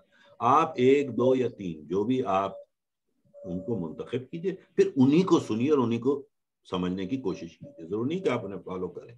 पहले उन्हें सुनिए और समझिए तो फिर वो आवाज़ें होंगी। जो आप तक पहुंचेंगी ना कि शोर सुनाई देगा। जब आप सौ हम्म। आदमियों को सुनते थे यार वो डॉक्टर साहब आपने तो ये कहा था फला ये कह रहा भाई वो उसकी सोच है मैं क्या कहूँ do you think I am gonna change my opinion because of him no आप खुद जहीन आदमी आप अपना ओपिनियन बनाइए। भी किसमें वज़न है? लेकिन क्या मैं इतनी ज़्यादा जितनी ज़्यादा आप एक ही मौजू पे बातें सुनने की कोशिश करेंगे तो आप कभी भी सीख नहीं पाएँगे कंफ्यूज होते चले जाएँगे। क्योंकि अंदाजे बयान अलग अलग है लोगों का। हालाँकि नुकता वही होगा सबका। एट दी एंड ऑफ़ आप देख लें। लेकिन क्योंकि हमारे हम हमने जैसे रिसीव किया अपने परसेप्शन से तो वो डिफरेंट आया। ठीक है? डिफरेंटली उसको परसेप्शन उसका डिफरेंट था। फारूक शाहिद भाई का डिफरेंट था समझने का अंदाज क्योंकि वो सारा दिन उस्मान भाई के साथ बैठे होते हैं इंटेलेक्चुअल के साथ। तो उनकी सोच का अंदाज अलग हुआ। ये भी तो है ना सारा सारा दिन आप कहाँ गुजारते हैं किन कंपनीज़ में गुजारते हैं? जो लोग आपके गिर्द होते हैं तो आप उन्हीं के अंदाज पे फिर सोचने लग जाते हैं तो ये सब अफेक्ट कर रहे होते हैं ना लाइफ में। तो कम से कम लेकिन अपने मॉडल बना लीजिए बस ज़रूर है ज़िंदगी। मॉडल मॉडल बनाना ऑफ़ मॉडलिंग इसीलिए बड़ा अहम था कि कोई तो मॉडल हो ना। जैसे अब हमारे मज़हब में हमारा एक मॉडल है ना अगर वो ना हो तो मज़हब मुकम्मल है। आप बताइए। आप कर आपको पता है क्या करना? खाली कुरान पढ़ के आपको कुछ नहीं समझ में आएगा जब तक जब तक सीरत ना हम पढ़े या हम अपने आका की सुन्नत और हदीसों को ना पढ़े या उनकी ज़िंदगी को सामने ना रखें। क्योंकि वो जो कुछ करते थे वही कुरान है और कुरान में जो लिखा है वही कुछ वो थे। तभी तो यानी ओनर्स मैनुअल है वो हमारा कुरान। कुरान की अमली तस्वीर थे वही है ना? तो अब उन्होंने हर चीज़ मामूली से मामूली चीज़ को दिखा दिया।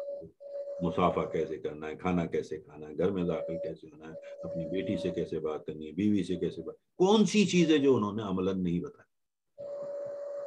तो ये है मॉडल तो आप मॉडल बनाइए मॉडल बनाने की कोशिश कीजिए लेकिन किसी को नकल ना करें। बिल्कुल ठीक आपकी बात समझ आ गई। सर आपसे ये भी मैंने डिस्कस करना था कि मेरे प्रोफेसर है ना वो मोस्टली मुझे मशवरा करने के लिए बुलाते हैं कि मुझे बताएँ मैं क्या करूँ। तो मैं उनके साथ कल अभी मैंने उनसे पूछा मैंने कहा सर आप मुझे ये बताएँ अगर इस सिचुएशन में आपके भाई होते तो आप उन्हें क्या मशवरा देते? कहते हैं मैडम मुझे नहीं पता मैं सोच सोच के तंग आ गया हूँ मैं थक गया हूँ मैंने इसलिए आपको बुलाया। तो आप चले फ़र्ज़ कर लें। नहीं यहीं पे आप उनको रोकते अच्छा अच्छा मैं समझ गई बात आपकी। लेकिन फ़र्ज़ कर लें अगर अगर हाँ। कुछ होता तो क्या हम्म। आपके जहन में? फिर भी देखे वो है उसके पास। ठीक है? क्योंकि लेकिन उसने जहन में ही बैठा लिया मुझे नहीं आता मुझे नहीं आता मुझे नहीं मालूम मुझे नहीं मालूम। अच्छा चले फ़र्ज़ कर ले मालूम होता तो क्या हो सकता था? क्या हो सकता पॉसिबल क्या था? क्या मुमकिन करके फिर चुप हो जाए। तीन दो तीन बार जब आप उनको ट्रीक करेंगी ना तो वो बोलना शुरू कर देगा तोते की तरह। हाँ। अच्छा। कौन सा ऐसा इंसान है तो जो मेरा हो गया ना। ये मैं मैं ये क्वेश्चन तो मेरा हो गया ना कि मैंने उनसे ये पूछा। हाँ, अब नेक्स्ट हाँ। कोई ऐसा क्वेश्चन जो मैं कल जाके उनसे करूँ और वो मतलब उस हवाले से फिर थोड़ा हाँ, नहीं वही पहले आप उसी सवाल पे लाएँ जैसे वो बोल रहे थे कि तो कहेंगे नहीं यार मुझे तो नहीं पता इसी नज़र मैंने आपको बुलाया और ये हुआ। कहने का चले एक मिनट के लिए एक मिनट के लिए ज्यूम कर लें जहन में कि अगर कुछ होता तो क्या हो सकता? और फिर चुप हम्म। यार मैंने पहले ही तो कहा है मुझे नहीं पता। फ़र्ज़ कर लें अज्यूम तो कर सकता हर इंसान को ये सलाहियत अल्लाह ने हाँ फ़र्ज़ तो सबसे हाँ, आसानी से होता तो वो खुद ही तोते की तरह बोलेगा। मेरा तजर्बा है कई बार। ऐसा। जी। बात नहीं बता हाँ, एक दो दफ़ा तो वो कहेगा नहीं नहीं समझ आ रही है। हाँ, तो शुरू में थोड़ा। शुरू में वो समझ रहा है कि वो डिपेंडेंट है आप पे। है ना? क्योंकि हम्म। बन के गई है या जो भी आप उनसे एडवाइजर मशवरा ले रहे आपने वहीं से तो हटाना है अपने सर से ये बोझ ये कहाँ से मेरे सर पे सवार हो रहा है? चल। हाँ करके सर शायद तो पता होगा उनका। सर वो माशाल्लाह मतलब अच्छा खासा बिज़नेस रन कर रहे हैं। जी जी। लेकिन मैं उनको देखती हूँ कि वो अभी जो है इस तरह से स्टक हुए हुए हैं तो फिर मैं सोचती हूँ कि वाकई बिजनेसमैन ही इस हवाले से परेशान होते हैं। सर शाहिद को पता होगा सर अजील अंजुम का। हाँ तो अपने क्लाइंट एक्सपोज थोड़ी करते हैं। नहीं नहीं नहीं का जो इनका क्लाइंट है नहीं करेगा। नहीं नहीं सर क्लाइंट नहीं मेरे वो वो मेरे प्रोफेसर है मैं मास्टर्स उनसे कर रही हूँ। तो उनको पता है कि मैं मतलब जो है इस तरह से मेरी जो एक्टिविटीज़ हैं तो वो ज़ाहिर सी बात है फिर सारे स्टूडेंट्स में से एक स्टूडेंट आपको समझ में आता है कि यार अगर इससे मैं बात करूँ तो क्या पता मुझे जो है कोई हल मिल जाए। तो इस हवाले से वो फिर मुझे बिठा के वो पूछते हैं मैडम बताएँ क्या करूँ? ठीक बात है। मतलब तो, आपके क्लाइंट ही है ना आपको आपसे काम। हाँ हाँ बिल्कुल आप उनको उसी तरह ट्रीट करें लेकिन मैंने जैसे आपको बताया ना कि आपका काम आज है कोच। जी। उनसे सवाल करना ये भी आप जानती हैं लेकिन सवाल कई बार वो मैंने कहा ना रिजवान से कई बार सुना है कि कई बार लोग खुलते नहीं है और यही तो ब्लाइंड स्पॉट है उसका जो आप हटाने गई हम्म। ये जगह वो इतना पुराना है वो उनका बिलीफ जिसे कहते हैं ना लिमिटिंग बिलीफ हम्म। वो इतना दिमाग में जम चुका है कि उसको हटाने के लिए थोड़ी सी आपको जरा मुक्के मारने पड़ेंगे दो तीन ताकि वो आइस टूटे हम्म। ठीक है तो वो पहली में नहीं टूटे दूसरी में नहीं तीसरी में टूट जाएगा।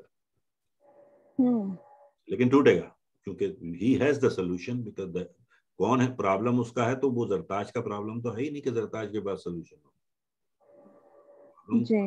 उन्हीं के पास है लेकिन उसको समझ नहीं आ रहा और वो अपनी जगह सही है। आप अपनी जगह अपना काम करें ये जो आपका प्रोफेशन है। चले फ़र्ज़ कर ले। अज्यूम करें ना कुछ ना हम्म। मैं समझ रही हूँ बिल्कुल आपकी सिचुएशन लेकिन सर अज्यूम करें। एक मिनट की फिर जैसे मैं दूसरा तरीका बता रहा हूँ ये पूछ लें कि आप आप ज़िंदगी में सबसे ज़्यादा एहतराम किसका करते हैं? हम्म। कहेंगे मेरे उस्ताद थे मेरे वालिद थे मेरे दादा थे मेरे चाचा थे। कोई तो होगा ना ज़िंदगी में हर इंसान का। जैसे मैं पूछूँ कोई एक शख्सियत दुनिया में होगी आपकी चाहे वो आपकी माँ बाप हो कोई ना कोई तो होगा। जिसका आप एहतराम करते रहे सबसे ज़्यादा। हम्म। और जिसको गौर से सुनते रहे कहीं ना कहीं आप। तो आप कहीं फ़र्ज़ कर ले इस वक्त सामने बैठे हो तो वो क्या जवाब देंगे करके ठीक हो गया। आप बोलेगा अभी वही बोल रहे हैं ना। आप तो नहीं हाँ जी बिल्कुल ऐसा ही है। सर वो अभी एक स्कूल में ट्रेनिंग दे रहे हैं और वो 80 प्लस वहाँ पे जो है ना टीचर्स हैं।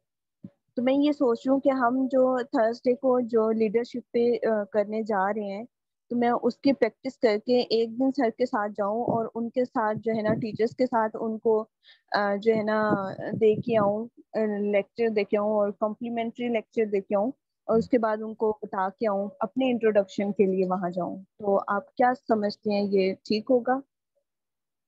मैं समझा नहीं, जरा मैं फिर से बताइएगा प्लीज़ सर वो ट्रेनिंग दे रहे हैं एक स्कूल में ठीक है? स्कूल की टीचर्स और प्रिंसिपल्स ये सब स्टाफ मिला के वो 80 प्लस लोग हैं अच्छा। ठीक है तो मैं ये चाह रही थी कि लीडरशिप के हवाले से आपने कहा था ना कि प्रोफेसर टीचर्स जो हैं उनको आप लीडरशिप पे दें। तो लीडरशिप के हवाले से हम सैटरडे को जो कर रहे हैं अपना ठीक है ना? उसके दो ला जो है उनकी प्रैक्टिस करके मैं कह रही थी कि अगर मैं सर के साथ जाऊँ और वहाँ पे कॉम्प्लीमेंट्री एक अपना लेक्चर डिलीवर करके आऊँ। तो आप इसे सजेस्ट एक ही लॉ कर लें जाके सिर्फ़? मुझे नहीं पता वो कितना टाइम आपको देंगे। ओके ज़ाहिर है आप दस मिनट में दो लॉ करेंगी तो ना इधर के रहे ना उधर के। तो आप बल्कि एक ही लॉ पकड़े भले पंद्रह बीस मिनट आधा घंटा जो भी आपको मिल रहा है ना वहाँ। जी जी। थोड़ी थोड़ी दो तो हम आपके लिए करा रहे हैं ना। ये नंबर देखें ये जो सारी इंटरनल ट्रेनिंग्स है ना जी जी तो हमने कोई मिमिक थोड़ी करना काफ़ी थोड़ी करना। आप उसको इस्तेमाल कीजिए जहाँ जिस चीज़ का हो रहा हो और जिस तरह से हो रहा हो। आप ये जो ये सेशन जैसे अभी हम कर रहे हैं ये आप इल्म के लिए किए बिल्कुल। पर जो अमल होगा वो आपके अपने अपने अपने स्टाइल से होगा। मैं नहीं चाह रहा कि इसी तरह किया जाए जो मैं कर रहा हूँ। नहीं ये आप ट्रेनर है। वो ट्रेनर नहीं है जिनके सामने आप जा रही हैं। वो तो ट्रेनी है। ठीक है ना? मैं आपको ट्रेन कर रहा हूँ कि ये एजुकेशन में आपको दे दूँ जो आप जाके अपने अपने स्टाइल से पढ़ाएँ। ज़रूरी नहीं कि वो पंद्रह के पंद्रह कवानीन ग्रोथ के हर जगह जाके पढ़ाने बैठ जाए। नहीं नहीं। आप इसमें से एक चुने दो चुने जैसे लॉ ऑफ़ एक्सपेंशन अगर आपको क्लिक कर गया आप उसको जाके पढ़ाएँ क्योंकि आपको अच्छा लगता हो। ये ना मुझे भी इसमें से सारे के सारे लॉ अच्छे नहीं लगते। लेकिन आपने देखा ना कई जगह मैं कहता हूँ ये मेरा फेवरेट है। Yes. आसान लगता है बोलना। जैसे अब ये ला है मेरे लिए मुश्किल तो नहीं मैं तो हर एक पे बोल लूँगा। बट माई पॉइंट इज़ कुछ ऐसे होते हैं ना जो जबान पे इस तरह चढ़ जाते हैं तो फिर आपको सोचना हम्म। यार इस पे जब चाहो जितने घंटे चाहो मैं बोल लूँगा।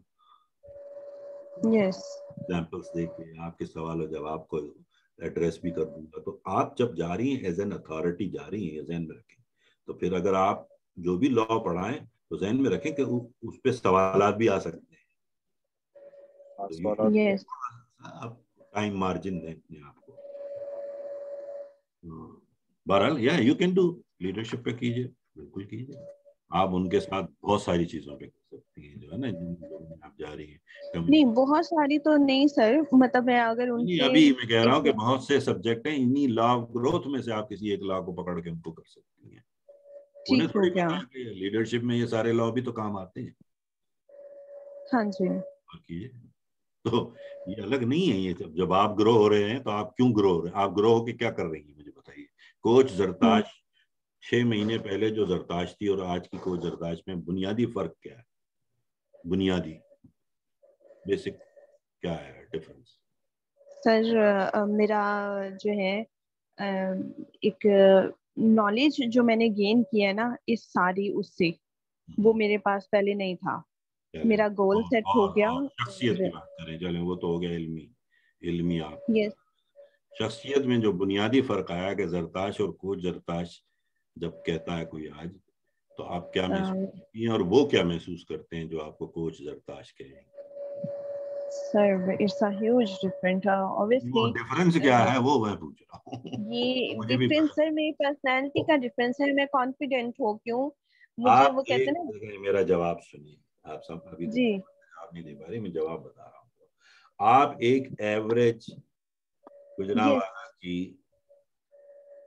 जिसे हाँ कहते स्टूडेंट फीमेल स्टूडेंट खातून जो भी हाउस वाइफ जो। भी अपने आप को नाम देती थी वहाँ से हम्म। निकलकर आप लीडरशिप रोल में आ गई आप लीडर हैं। अब लोग आपसे रहनुमाई चाह रहे हैं। यस यस यस ये है।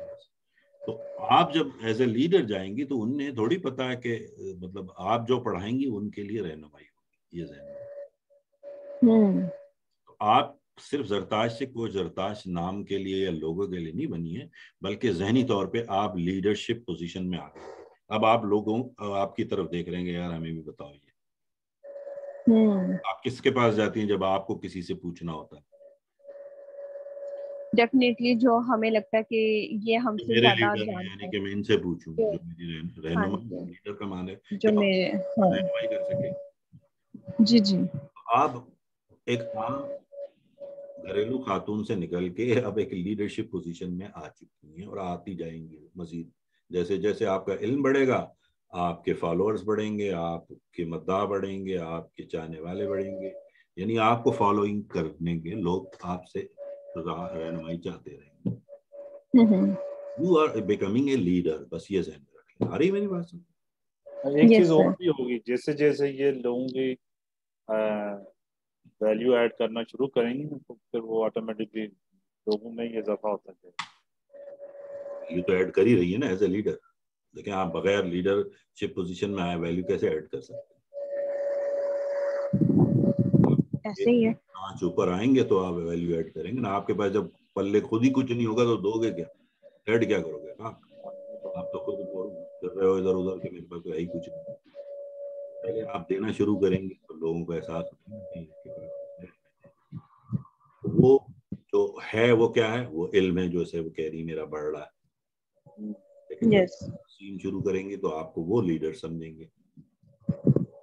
Simple hmm. सा। चलें, आखिरी एंड फाइनल लॉ कर लेते हैं तो इस पूरे सफ़र का आखिरी लॉ है, जिसका नाम है लॉ ऑफ़ कंट्रीब्यूशन जिस पर हम अनाफी चली भी पिछले चंद मिनटों से बातें कर रहे हैं। इसलिए मैंने सोचा कि इसको ले ही आऊँ।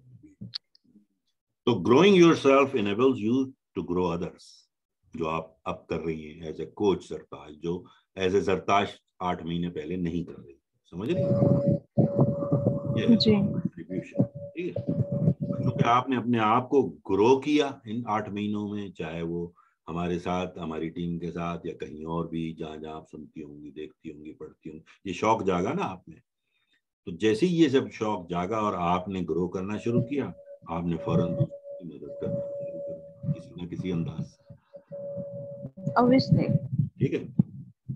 तो अब ये जो लॉ ऑफ़ कंट्रीब्यूशन है ये इसी का नाम है if you are not doing something with your life it doesn't matter how long it is ये बड़ा मशहूर कहानी है आप अगर कोई चीज़ कर ही नहीं रही हैं जो आपकी ज़िंदगी में है और आप कोई भी ऐसी चीज़ नहीं कर रही हैं तो उससे क्या फ़र्क पड़ता है फिर आपकी ज़िंदगी कितनी तवील है या नहीं है आप मुर्दा है मेरे लिए जैसे कि मैं हमेशा कहता हूँ कि 95 परसेंट लोग चलती फिरती लाशें हैं ऑफिशियली अनाउंस नहीं है उनकी कोई लाइफ है?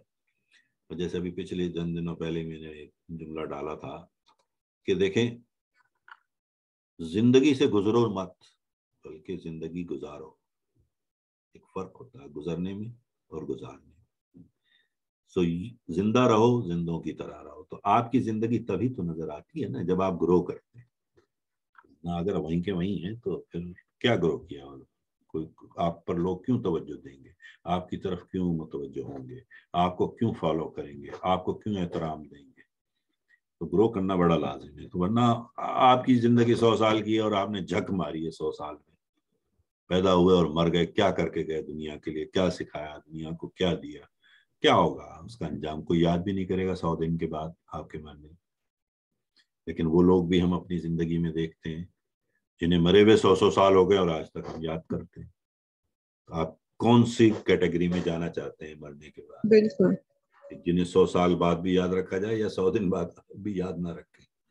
ये फ़र्क है ना हमारा। तो अब ये जहन में रखें कि चूँकि अगर मुझे ग्रो मैं कर रही हूँ जैसे आप सोचें या मैं कर रहा हूँ तो इसी तरह लोगों को भी ग्रो करने की ज़रूरत तो है ना। जैसे आपको है थी है और रहेगी ठीक है? तो बेटर यू डू क्योंकि आप तब तक इस काबिल नहीं होते किसी को देने के जब तक आपके पल्ले खुद कुछ ना हो। इज़ इट फैक्ट तो मेरे पास है ही कुछ नहीं तो दूँगा क्या? हाँ। सबसे पहले किसे हासिल करना चाहिए? मुझे हासिल करना चाहिए कुछ ना कुछ बेहतर यानी इल्म के एतबार से या पैसे जो भी whatever I want to get but I have to get first ठीक है ना? फिर हमेशा जैसे मैं कहता हूँ कि हमेशा अपने आप से सवाल करें कि मैं आज क्या अच्छा कर सकूँगा जब भी सो के उठे। आज ऐसा कौन सा अच्छा काम कर दूँ कि यार दिन अच्छा हो जाए? सोचा करें। छोटी छोटी चीज़ें होंगी, मामूली। जैसे मैं कहता हूँ ना, मैं सोने से पहले अपने आप से सवाल करता हूँ कि डिड आई लर्न समथिंग ठीक है ना? तो चाहे वो एक नया लफ्ज ही हो, चाहे कोई ऐसी बात हो जो पहले मैं नहीं जानता था और अब जान गया हूँ। तो मेरा दिन, मैं समझता हूँ अच्छा गुजरा। फिर दूसरा सवाल मैं अपने आप से करता हूँ कि डिड आई हेल्प समवन मैंने किसी की मदद की आज के दिन? और अगर की है तो मैं समझता हूँ, मैंने अपना बहुत खूबसूरत दिन गुजार दिया, अल्लाह ताला की जो नेमत थी। वरना अगर मैं वही का वही, जहाँ कल था तो मैंने अल्लाह की दी हुई एक नेमत को, एक पूरे दिन को ज़ाय किया ना अपनी ज़िंदगी। तो आप भी ये सवाल करें कि सुबह उठ कर ये करें, अपने आप से हर सुबह, कि आज मैं ऐसा क्या कर सकूँगा कि यार कोई अच्छी चीज़ ऐसी क्या कर सकता हूँ? और उसे कर डालिए चाहे वो मामूली सी चीज़ हो। हो सकता है आपने बाहर निकले और कोई कचरा पड़ा हुआ था हटा दिया वहाँ से। अच्छा काम किया। बिल्कुल सर। छोटी सर आपने जी अभी बात कही थी कि ज़िंदगी से गुजरे नहीं इसे गुजारे। आप उसे रिपीट कर सकते हैं प्लीज़ वो मतलब मैंने तो मैं अंग्रेज़ी का वो है मेरा कि don't go through the life live your life Urdu में मैंने इसे कहा कि ज़िंदगी से गुजरो मत ज़िंदगी गुजारो। उर्दू में आप यूँ कह लें। समझ रही है बात?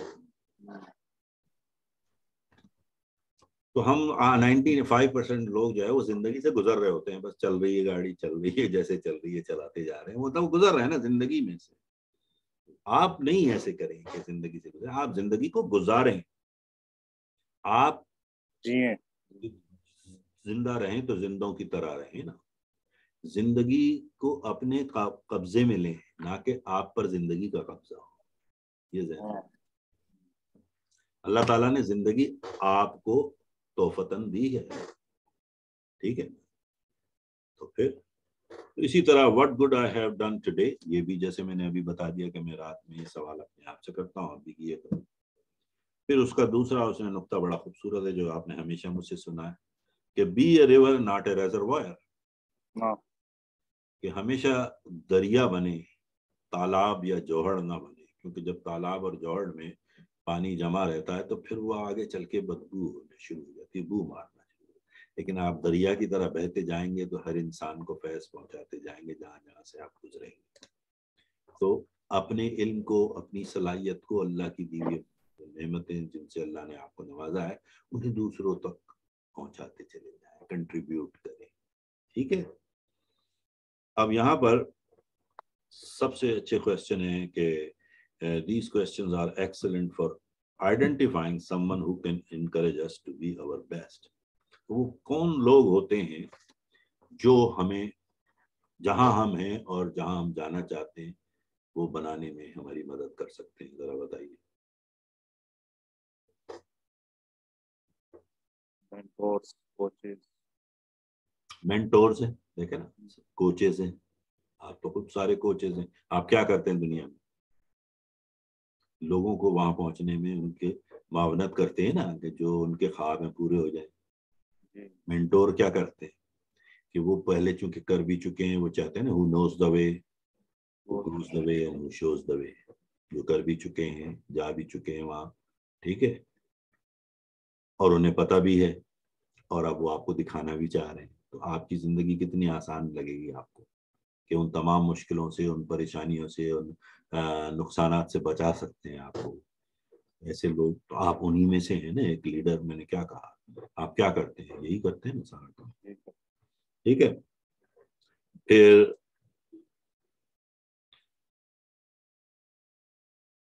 आप खुद तय कीजिए कि आपका बेहतरीन मेंटोर कौन हो सकता है आपकी ज़िंदगी में आपके सामने। और कई जगह एक ये जहन में रख लीजिए कि मेंटोर एक नहीं होते।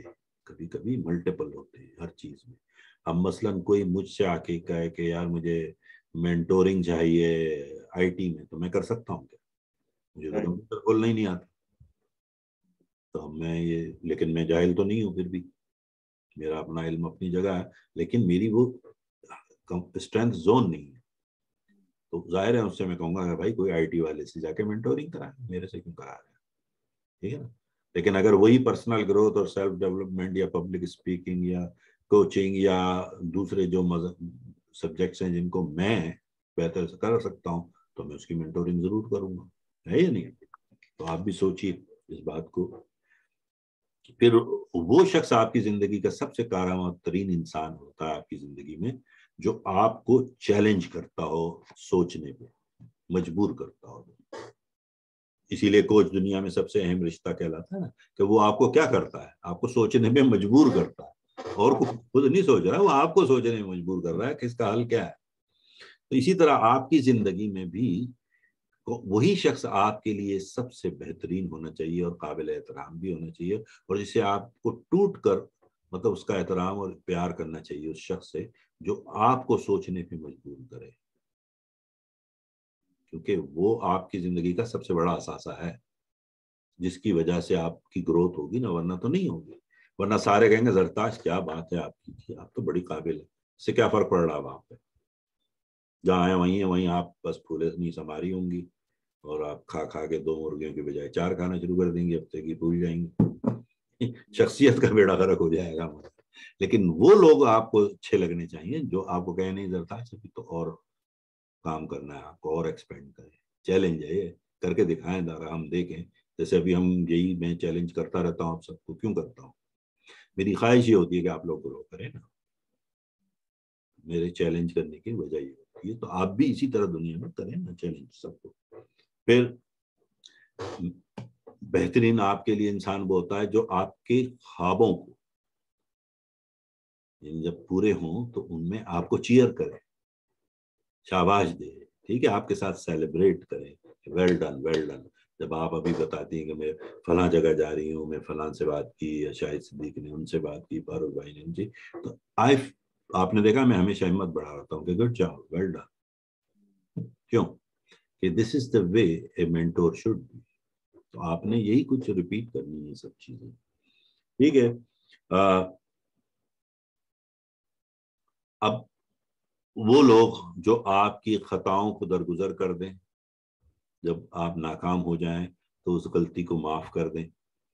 वो अच्छे लोग होते हैं आपकी ज़िंदगी में आपके मतलब आपकी हिम्मत बढ़ा लें, बल्कि कहें, कोई बात नहीं यार, हो सकता है आपने उस वक्त गलत बात कर दी हो किसी से। लेकिन वो उसमें इतनी दरगुजर हो गई, कोई बात नहीं यार, आगे बढ़ो। तो वो लोग आपकी लाइफ के बेहतरीन दोस्त साबित होते हैं, ठीक है? फिर इसी तरह वो लोग जो आपसे इंतहाई जब दबाव हो जहनी या इस किस्म के प्रेशराइज एनवायरनमेंट में भी, आपसे बगैर पूछे आपको हेल्प कर दे। यानी कितना ही मुझ पर दबाव, यार क्यों सिखा रहे हो, ये क्यों कर रहे हो भाई मैं सिखाऊँगा, जाओ। ठीक है? तो वो लोग अच्छे लोग होते हैं आपकी ज़िंदगी में। इसी तरह वो लोग जो आपकी ज़िंदगी में तय कहे और खुशियाँ बखेर रहे हो, उनसे अच्छा कौन होगा जो भी हो, आपके दोस्त हों, आपके अज़ीज़ हों या आपके साथी हों क्योंकि हम आपस में है ना तो हम अपनी हिमाकतों पे भी हंस रहे होते हैं जो हमने की।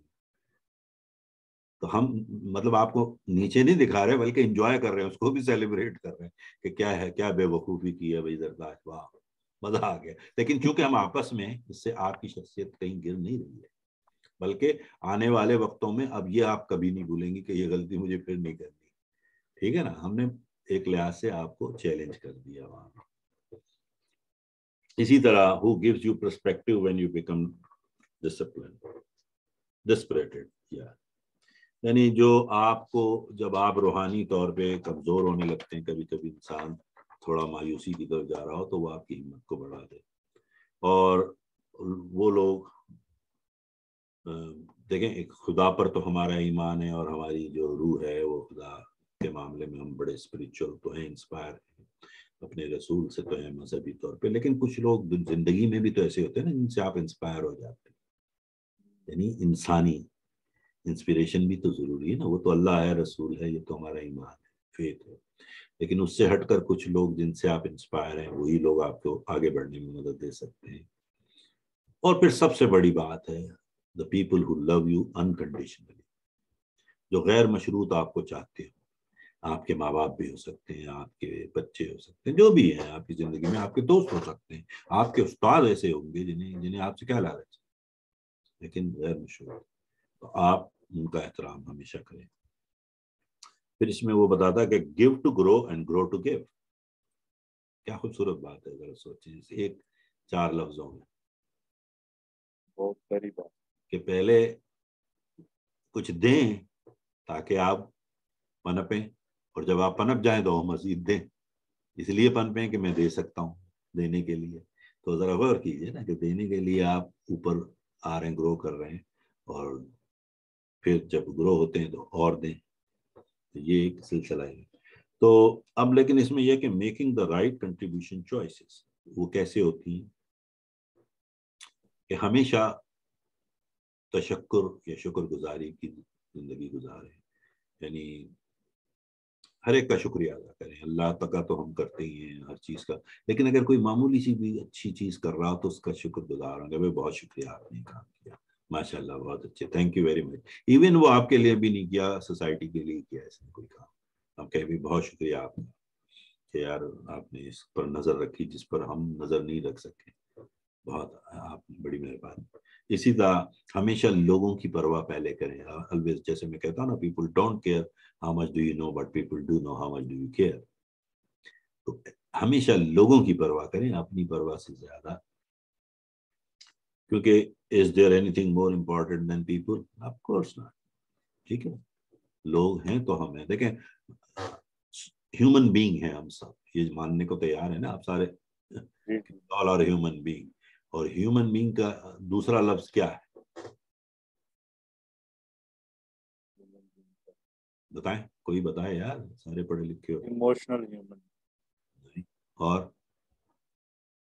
इमोशन तो जानवरों को भी बड़े होते हैं जब शेर को गुस्सा आता है देखा कैसे चीर फाड़ देता सर शाउर होता है ह्यूमन बीइंग में और जो है एक हाँ, वो फ़र्क जो है उसका दूसरा लफ्ज पूछा human being is a human being is a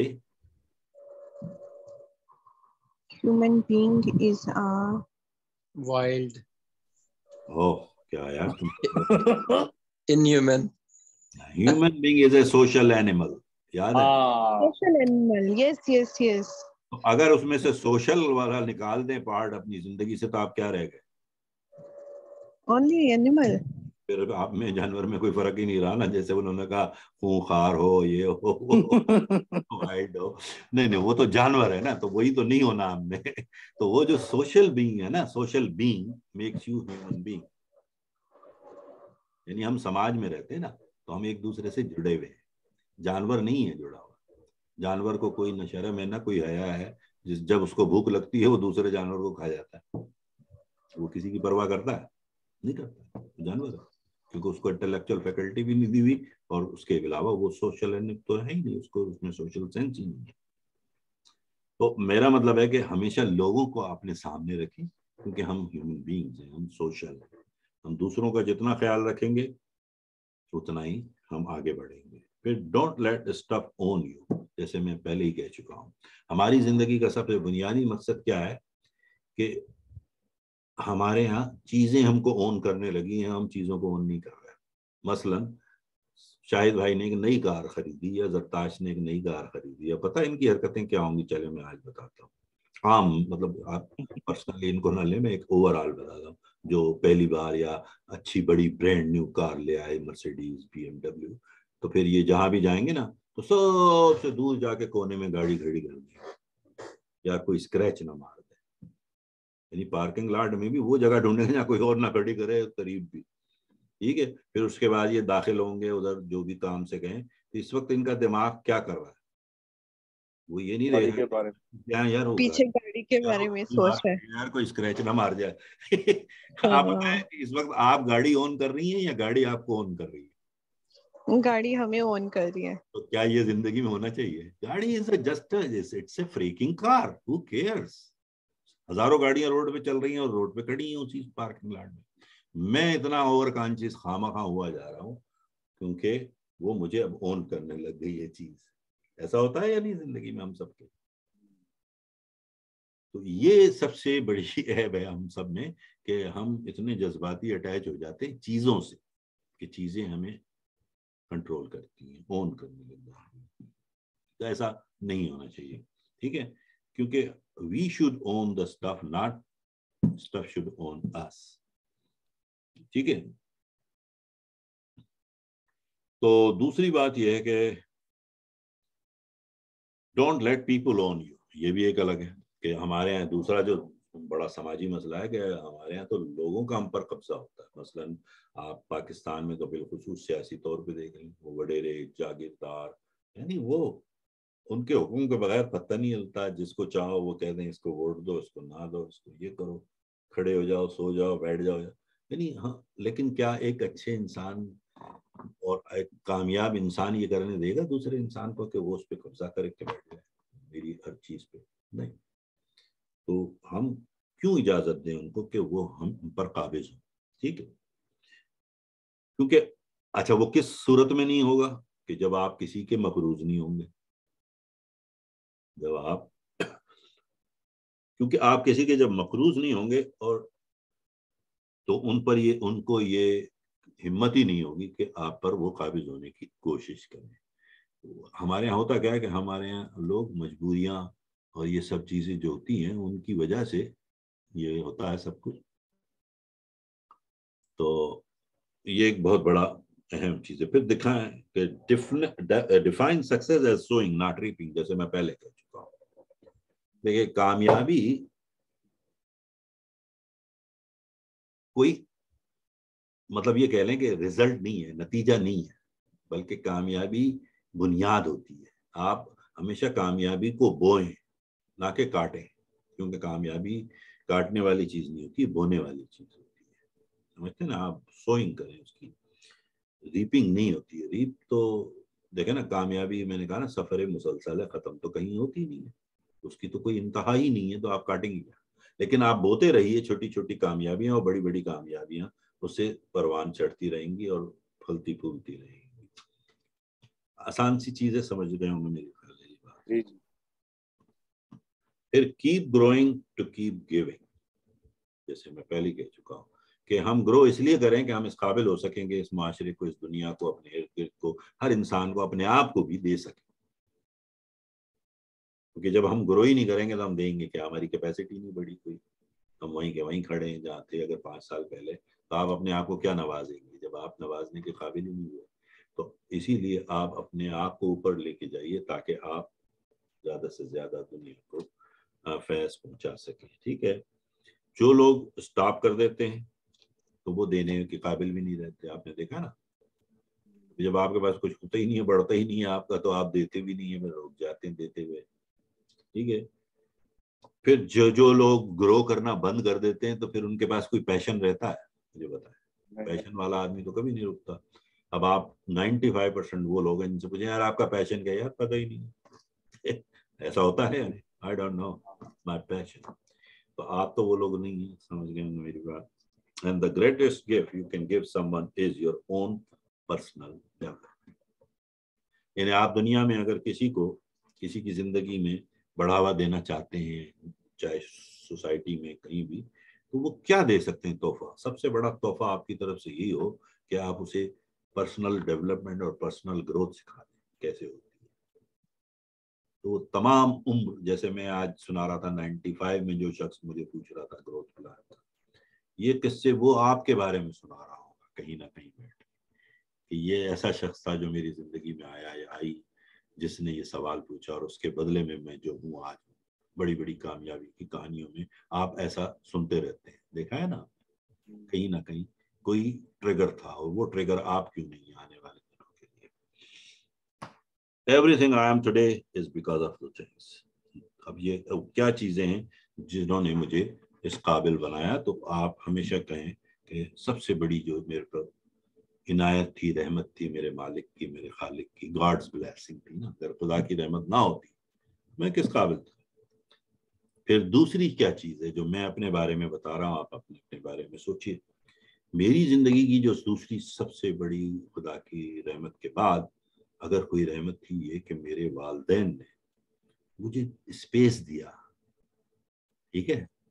grow करने का, कभी रोका नहीं, टोका नहीं, अगर मैं आगे बढ़ने जा रहा हमारे यहाँ अक्सर ये होता है ना, वालदेन है या जो रिश्तेदार है, वो रोकना शुरू कर अरे, ये क्या कर रहे हो? वो क्या कर रहे हो? ये होता है ऐसा या नहीं? तो मैं अपने बारे में ये कह सकता हूँ बोला मुबालगा कि मेरे वालदे ने हमेशा मुझे स्पेस दिया कि do whatever you want do in right way हाँ कई जगह बड़ी कदमन लगी है मेरी ज़िंदगी में कि भाई, जैसे अब डॉक्टर में बना तो उनकी फरमाइश पे बनना पड़ गया। लेकिन उसके बावजूद भी उन्होंने बहुत सारा स्पेस तो दिया ना कि कम से कम मैं अपनी ज़िंदगी जी सकूँ। वही मैं ज़िंदगी से गुजर नहीं रहा था, ज़िंदगी गुजारना सीख रहा था उस एज में। ठीक है? तो मेरी जो पर्सनल डेवलपमेंट का जर्नी तो मैंने आपको बताया हुआ है। I am just an average person with way above average desire to grow ये मैं अपने, मेरा स्टेटमेंट है। कि मैं एक आम सा आदमी हूँ ज़िंदगी में, लेकिन मेरी जो ख्वाहिश है ना ग्रो की, वो बहुत बड़ी है।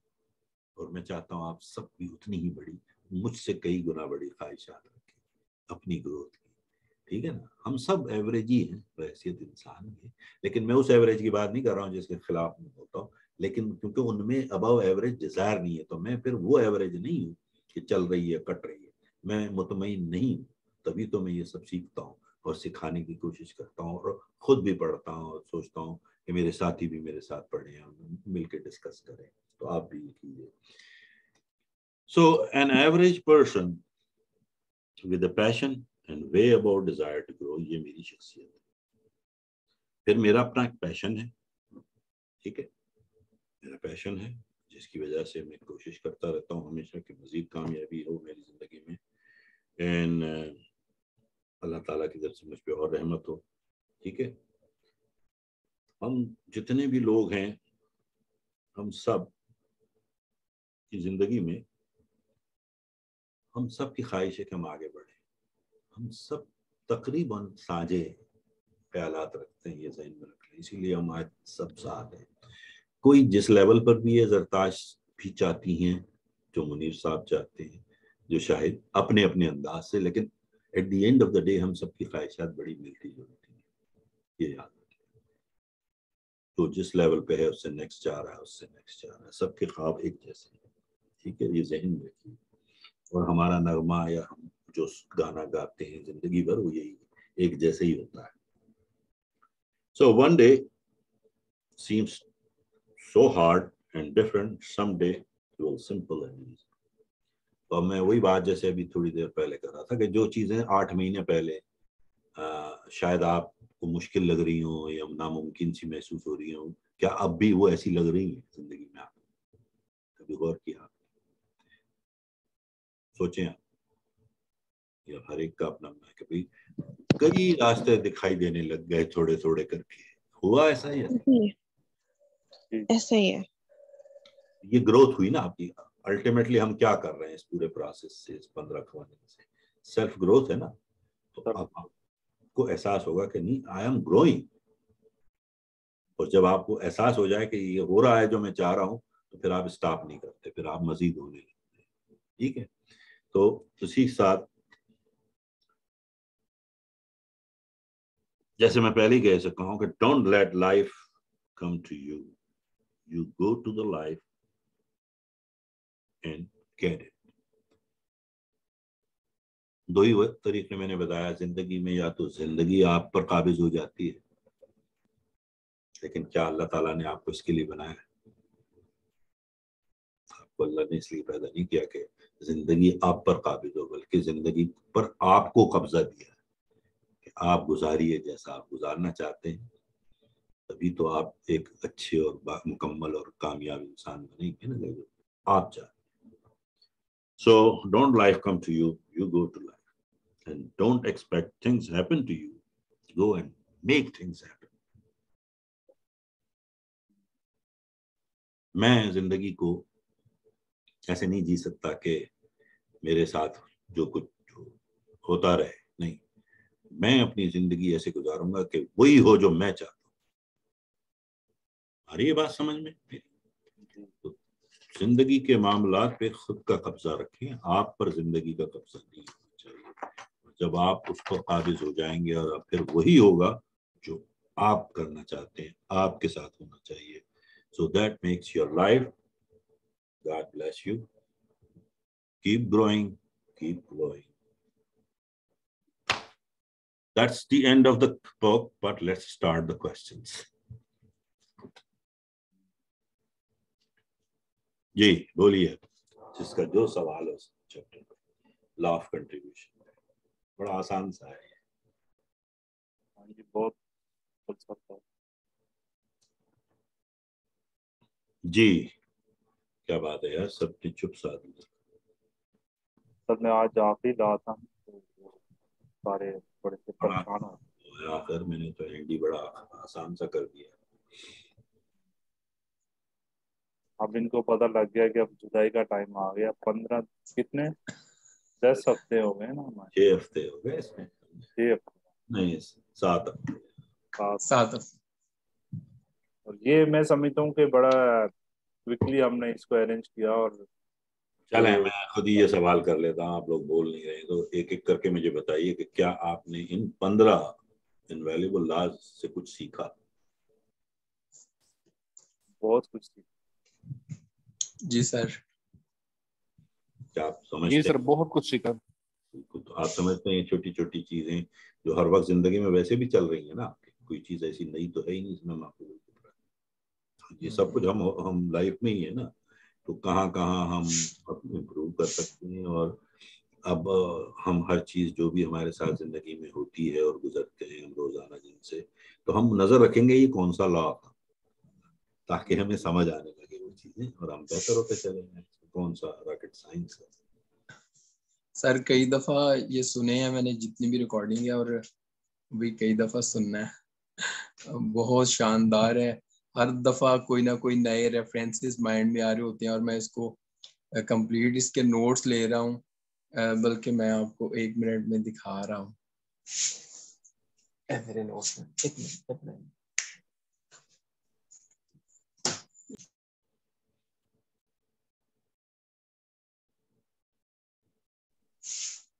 ये सारे मैंने इसके नोट्स ले लिए हैं कंप्लीट नोट्स ले लिए बात है। ना मैंने कहा ना आप ये आपकी जो ट्रेन द ट्रेनर्स से हमारा जो मकसद था सरकार हम दोनों की डिस्कशन भी तो हम ये चाहते थे कि देखें खाली कोचिंग तो बहुत बड़ा पेशा है इसमें तो कोई शक नहीं है लेकिन अभी कोचिंग को स्टेब्लिश भी तब होती है ना जब आपका क्रेडिबिलिटी बन जाए। तो वो कैसे बनेगा वो एज ए स्पीकर और ट्रेनर भी साथ साथ हो। ठीक है? तो हम ये चाहते थे कि कुछ ऐसे सब्जेक्ट्स में थोड़ा थोड़ा हम आपको बता दें या कम से कम रास्ता दिखा दें। उसके बाद तो आप खुद अपने अपनी इसमें जैसे मैंने अपनी स्टोरी बताई, आप अपनी स्टोरी बताएँगे, हो सकता है और, वो आपकी स्टोरी सेल्फ ग्रोथ के मुतालिक या किसी भी लॉ के मुतालिक आपके अंदर भी सैकड़ों कहानियाँ हैं, आपकी ज़िंदगी में गुजरी होंगी जिससे रिलेट कर रही होंगी तो आप उनको इंडल्ज कर दीजिए। क्योंकि लोग जब जरताश को सुनेंगे, शाह, फारूक भाई को सुनेंगे या सिद्दीक को सुनेंगे, या जुनेद को तो वो वो वही सुनना चाहते हैं ना, जो जुनेद जिनमें उनकी लाइफ को टच करे। क्योंकि वो उनके सामने खड़े हैं कि यार मेरे साथ ये हो सकता है। तो उन, आपके साथ भी हो सकता है और वो भी ये सोचेंगे कि यार ये जुनेद अपनी कहानी सुना, और जब आप अपनी कहानी सुनाते हैं तो उसमें इमोशंस खुद ही आ जाते हैं ना, क्योंकि आप इन्वॉल्व हैं ना उसमें। तो मेरी कहानी नहीं सुना रहे आप उनको किसी और की नहीं, कि मैं ज़ाहिर है वो इमोशन कहाँ से लाऊँगा? तो इन लॉज में हर लॉ के मुतालिक कुछ ना कुछ आपकी लाइफ में भी कभी ना कभी कहीं ना कहीं टकराव तो रहता है सारा दिन हमारा। उन स्टोरीज को करें और ये ट्रेनिंग्स हैं जिन पर आप पैसे कमाएँगे और फिर वहाँ से आपको कोचिंग के क्लाइंट मिलेंगे। ये बता दूँगा आपने पंद्रह लोग ट्रेनिंग दी उनमें से दो आपको कोचिंग के क्लाइंट मिल जाएँगे कि यार शाहिद साहब कमाल के इनका तो इल्म बड़ा ज़बरदस्त है इनसे कोच करो। ठीक है ना? अब जैसे इसमें एक पूरा चैप्टर था जिसमें मैंने मेंटोरिंग और कोचिंग पे बातें की। क्या? देखें तो है वही। लेकिन उनको पता चला कि मेंटोर होना लाजिम है कोच होना लाजिम है। तब वो कहाँ ढूंढेंगे फिर वो शख्स? जब आप उनको ट्रेन उसी पे कर रहे हैं तो आप ही में देख रहे होंगे ना वो शख्स। बेचिए ठीक है? तो ये मकसद था मेरा। मेरा हम चाह रहे थे कि आप लोग जो है पैसे कमाए यार। और साथ साथ आपका अपनी ग्रोथ करें दोनों चीज़ें। एक तो सेल्फ ग्रोथ हो आपकी खुद की। वही जैसे मैंने कहा ना जितना आप ज़्यादा पढ़ेंगे जितना आप ज़्यादा सीखेंगे उतना ही आपको एहसास होगा कि यार अभी तो मुझे और सीखना है। Yes. यही तो मज़ा है इसमें। ये ट्रेनिंग का एक हिस्सा है कि वी आर ट्रिगरिंग दैट कि भाई और सीखो ताकि ज़्यादा से ज़्यादा आपका अपनी ज़िंदगी में कंट्रोल आ जाए। जी जरताश आप क्या कहेंगे?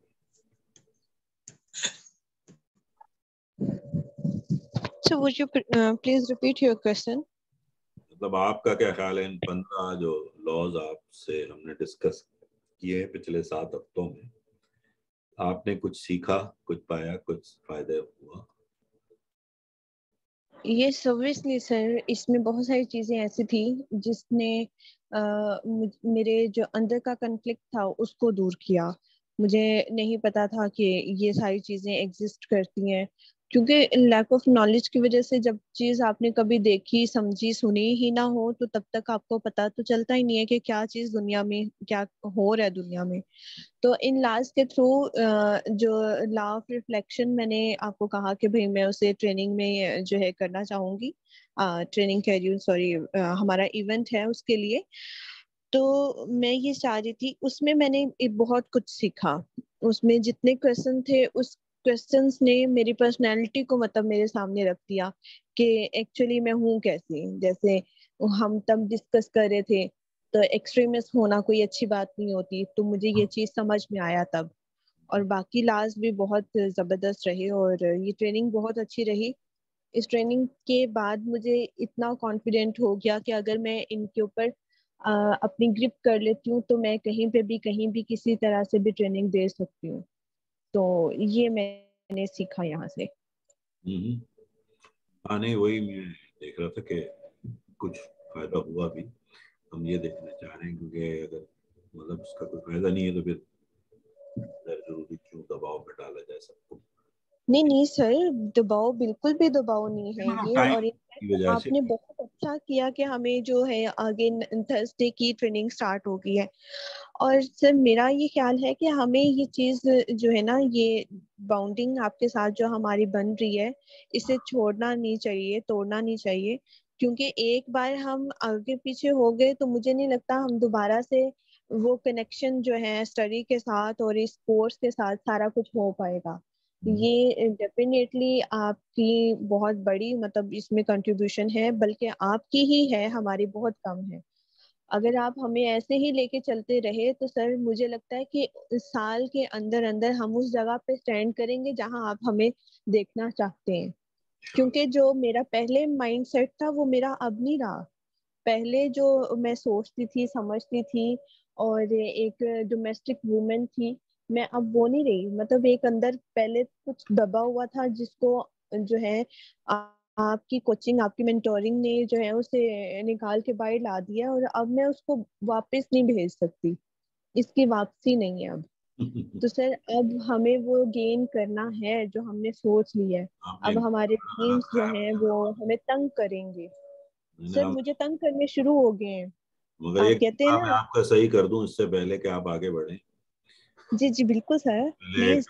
मैं पहले एक डोमेस्टिक थी और अब नहीं हूँ तो क्या आप लड़ाका जंगजू हो गई हैं? क्या हो गई? आज भी आप डोमेस्टिक सोच अच्छी सर मैं अब प्रोफेशनल हो गई हूँ। हाँ। मैं डोमेस्टिक वुमेन हूँ नो डाउट हूँ मैं। हॉरिजन बढ़ गया ख्वाब बढ़ गए। हाँ जी सर वो ख्वाब अब मुझे तंग भी करते हैं। सर ये मतलब मेरे जैसे ढीठ बंदे के लिए एक बहुत बड़ी मैं कहती हूँ बहुत मैंने अपने कंफर्ट जोन को तोड़ना शुरू कर दिया। आप कहते हैं ना कि आपको कुछ गेन करना है तो अपने कंफर्ट जोन से बाहर निकल आए। तो सर, पहले ये पढ़ना, पढ़ाना, इन चीज़ों से मेरी जान जाती थी। लेकिन अब विद इन वन मंथ मुझे ऐसा फील होने लग गया है कि ये चीज़ें मतलब मेरी प्रैक्टिस में आते आते अब मुझे उस तरफ़ खींच रही हैं कि मैं वहीं पे जो है उसी तरह से इस बाउंडिंग के साथ चलती रहूँ और अपने जो मैंने जितना कुछ सोचा उन सब चीज़ों को गेन करूँ। तो सर, आपसे हम्बल रिक्वेस्ट है, हमें ऐसे रास्ते, बीच राह में छोड़ के मत जाइएगा।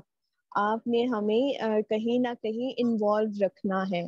आपकी अपने जो सर्टिफिकेट्स होते हैं तो मैं कहती हूँ, यार, जताश कभी कभी तो लिटरली दिल चाहता है, अल्लाह ना यार, मेरे सर इतने मतलब इतनी एक उस पे होते हुए भी डेली कोई ना कुछ सीख रहे हैं, और मैं क्या कर रही हूँ? तो अब बहुत ज़्यादा मैंने इन चीज़ों से अवॉइड करना शुरू कर दिया है सोशल मीडिया इधर उधर टाइम वेस्ट स्क्रोलिंग ये मेरी आदतें बदलना शुरू हो गई हैं सर तो मैं चाहती हूँ कि इनशाला नेक्स्ट ईयर तक हम वहाँ पे होंगे जो हम जो आप हमें देखना चाहते हैं। इंशाल्लाह। नहीं नहीं बिल्कुल चाह रहे हैं हमारी बुनियादी ख्वाहिश यही है कि सब काम बड़े कामयाब हों। मैंने पहले ही कहा ना कि कामयाब दोस्तों का क्लब बन रहा है किस्म का हमारा इंशाल्लाह बिल्कुल बिल्कुल ऐसा ही है। और सर मुझे खुशी है कि हमें जितने क्लासमेट्स मिले ये माशाल्लाह सबकी नेचर बहुत अच्छी है। कोई मतलब इस तरह से नहीं है कि हम अनकंफर्ट फील करें। इनके स्पोर्ट का मुझे लगता है कि जैसे मुझे ये भी एक आस्था है कि जो हमारे साथ लोग हैं वो अच्छे हैं इनकरेज करने वाले हैं वो टांग खींचने वाले नहीं है। कहीं ना कहीं बल्कि बहुत हद तक इसमें आपका ही मतलब एक हाथ है कि कि हमारा माइंड सेट आपने ऐसा बना दिया कि हम एक दूसरे की टांगे नहीं खींचते।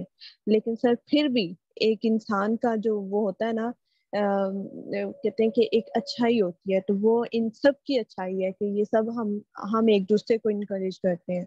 तो ये चीज़ मुझे बहुत पसंद है और इसी वजह से मुझे नहीं लगता कि अब कभी भी हम जो है एक दूसरे को छोड़ के आगे गुजर बढ़ जाएँगे। नहीं मुझे लगता है हम साथ रहेंगे सारी उम्र का साथ बन चुका है हमारा। और ये होना भी ऐसी चाहिए मैंने कहा ना ये टीम बढ़ेगी कम नहीं होगी और अल्हम्दुलिल्लाह हम एक दूसरे के बारे में फख्र से बता सके ना ये सब मेरे दोस्त हैं। देखें ये मेरी ये हम लोग साथी हैं। अब आप सोचें आठ साल बाद दस साल बाद बीस साल बाद जहाँ भी होंगे अपने अपने बड़े बड़े आपको देगा। तो आप बता सकते हैं कि यार हमने साथ सीखना शुरू किया था देखें कौन कहाँ है कौन कहाँ है। बिल्कुल सर बिल्कुल। ये एक बहुत अच्छी साइन है माशाल्लाह आप लोगों की और अल्लाह ताला आपको कभी तरक्की दे अच्छे से दुआ में जुनेद जरा ये बताइए। जी डॉक्टर साहब। जी। डॉक्टर साहब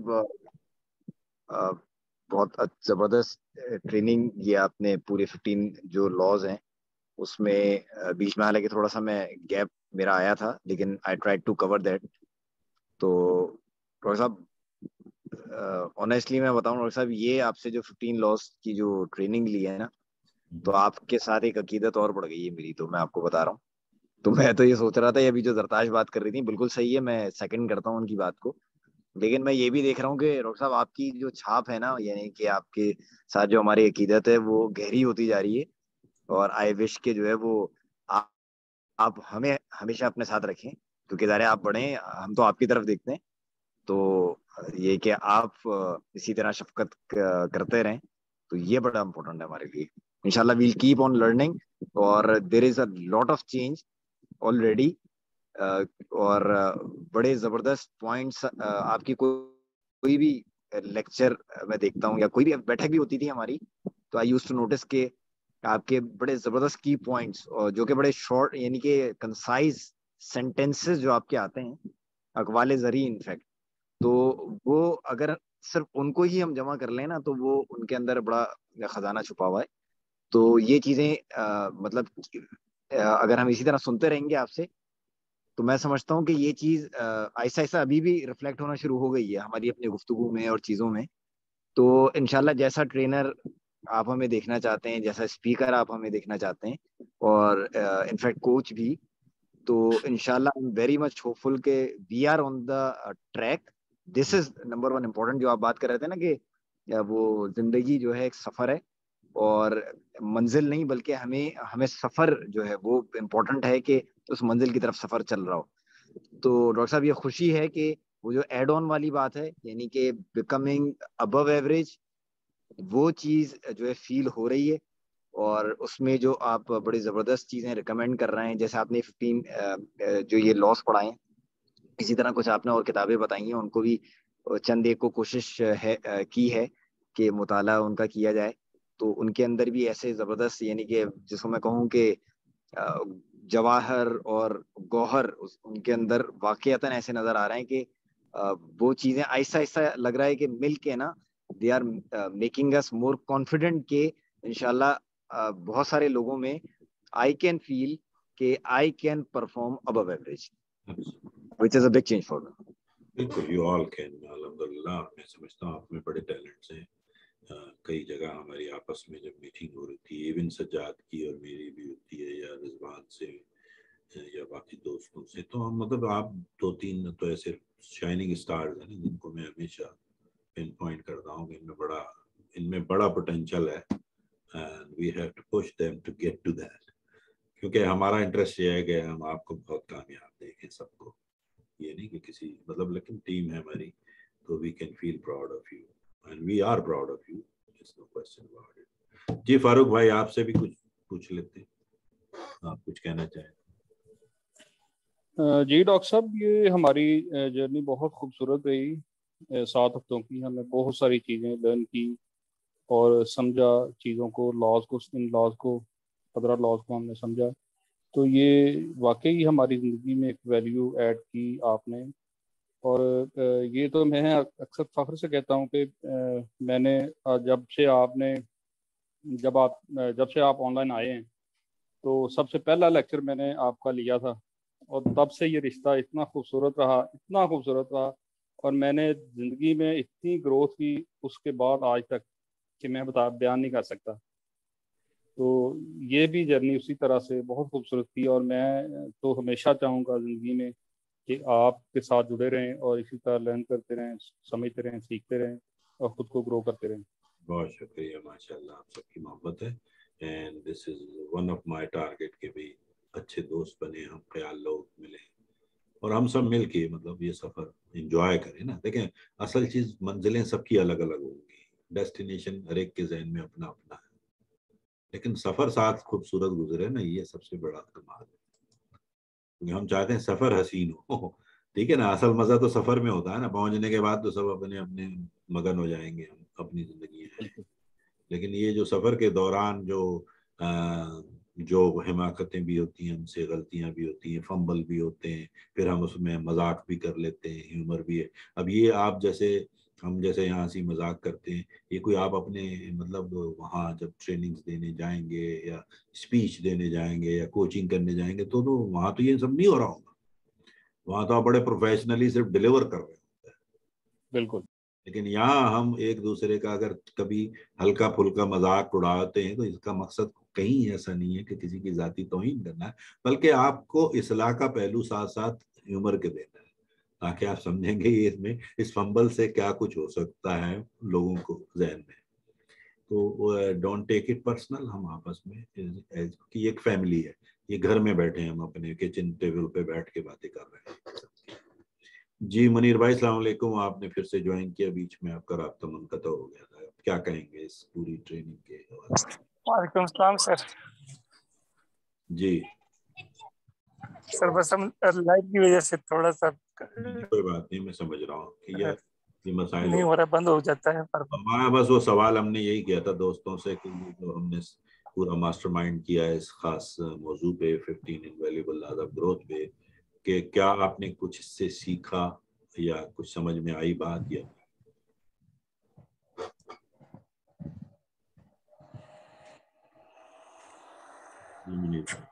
सर इसमें तो मैं तो स्पेशली इस पे जो पहला होता ना इंटेंशनल और इंटेंशनल ग्रोथ पे। जी जी। तो उस पे खुद भी वर्क किया काफ़ी बड़ा बहुत कुछ सीखने को मिला इसमें ना। कि हम इंटेंशनली ग्रो करें जब कि जब ना कि हम लोग जिस तरह एक्सीडेंटली हो जाता है ना तो हमें पता होना चाहिए कि हमारा गोल्स क्या है हमारा विजन क्या है हम किस तरफ़ लाइफ में जाएँ। तो एक क्लियर विजन के साथ आगे बढ़े और हम मुझे पता होना चाहिए कि आज से पाँच साल बाद दस साल बाद मैं कहाँ पे हूँ मेरे पैसे और मुझे क्लैरिटी हो कि मैं असल मेरी ज़िंदगी का पर्पज क्या है। तो बहुत कुछ सीखा है इसमें सर चले बहुत अच्छे एटलीस्ट यानी हम समझे कि भाई मतलब मेहनत काम आ रही कुछ। और देखें ये हम्म। मैं आपको एक मतलब और एक छोटी सी हिंट दे देता हूँ। जैसे अब पंद्रह लॉज है। ये सारे के सारे बड़े अच्छे हैं और आसान हैं और ज़ाहिर है ज़िंदगी में हर जगह यूज़ होते हैं, लेकिन इनमें से दो या तीन, कम अज कम तीन मैं कहूँगा, तीन लॉज को आप इंडिविजुअली पिक करें कि यार ये मेरे फेवरेट है, कम से कम तीन। चाहे वो इंटेंशनलिटी हो लॉ किसी को लॉ ऑफ़ रिफ्लेक्शन पसंद है, किसी को लॉ ऑफ़ एक्सपेंशन पसंद है लॉ ऑफ़ रबर बैंड पसंद है, या लॉ ऑफ़ अवेयरनेस पसंद है, यानी सारे लॉज है ना लॉ ऑफ़ कंट्रीब्यूशन है लॉ ऑफ़ ट्रेड ऑफ़ है। आप उनमें से कोई तीन ऐसे चुन लें अपनी जात से। तो आप जैसे इंजॉय करें बताने में और जिसमें आपके पास यानी कहने को बहुत कुछ हो जैसे कहानी वाइज अपनी कहानी। हाँ। तो वो आपकी मैं आपको बता दूँ आपका ब्रांड बन जाएगा आगे जाके। ब्रांड यानी जिसे कहते हैं कि मास्टर मास्टर पीस स्पीच बन जाएगी आगे चल के आपकी उसी से ठीक है? ठीक। मतलब होता है ना, हर आदमी, जैसे मुझे लोग किस आपको शायद ना पता हो, अमेरिका में मुझे चंद हवालों से पहचाना जाता है ज़्यादा।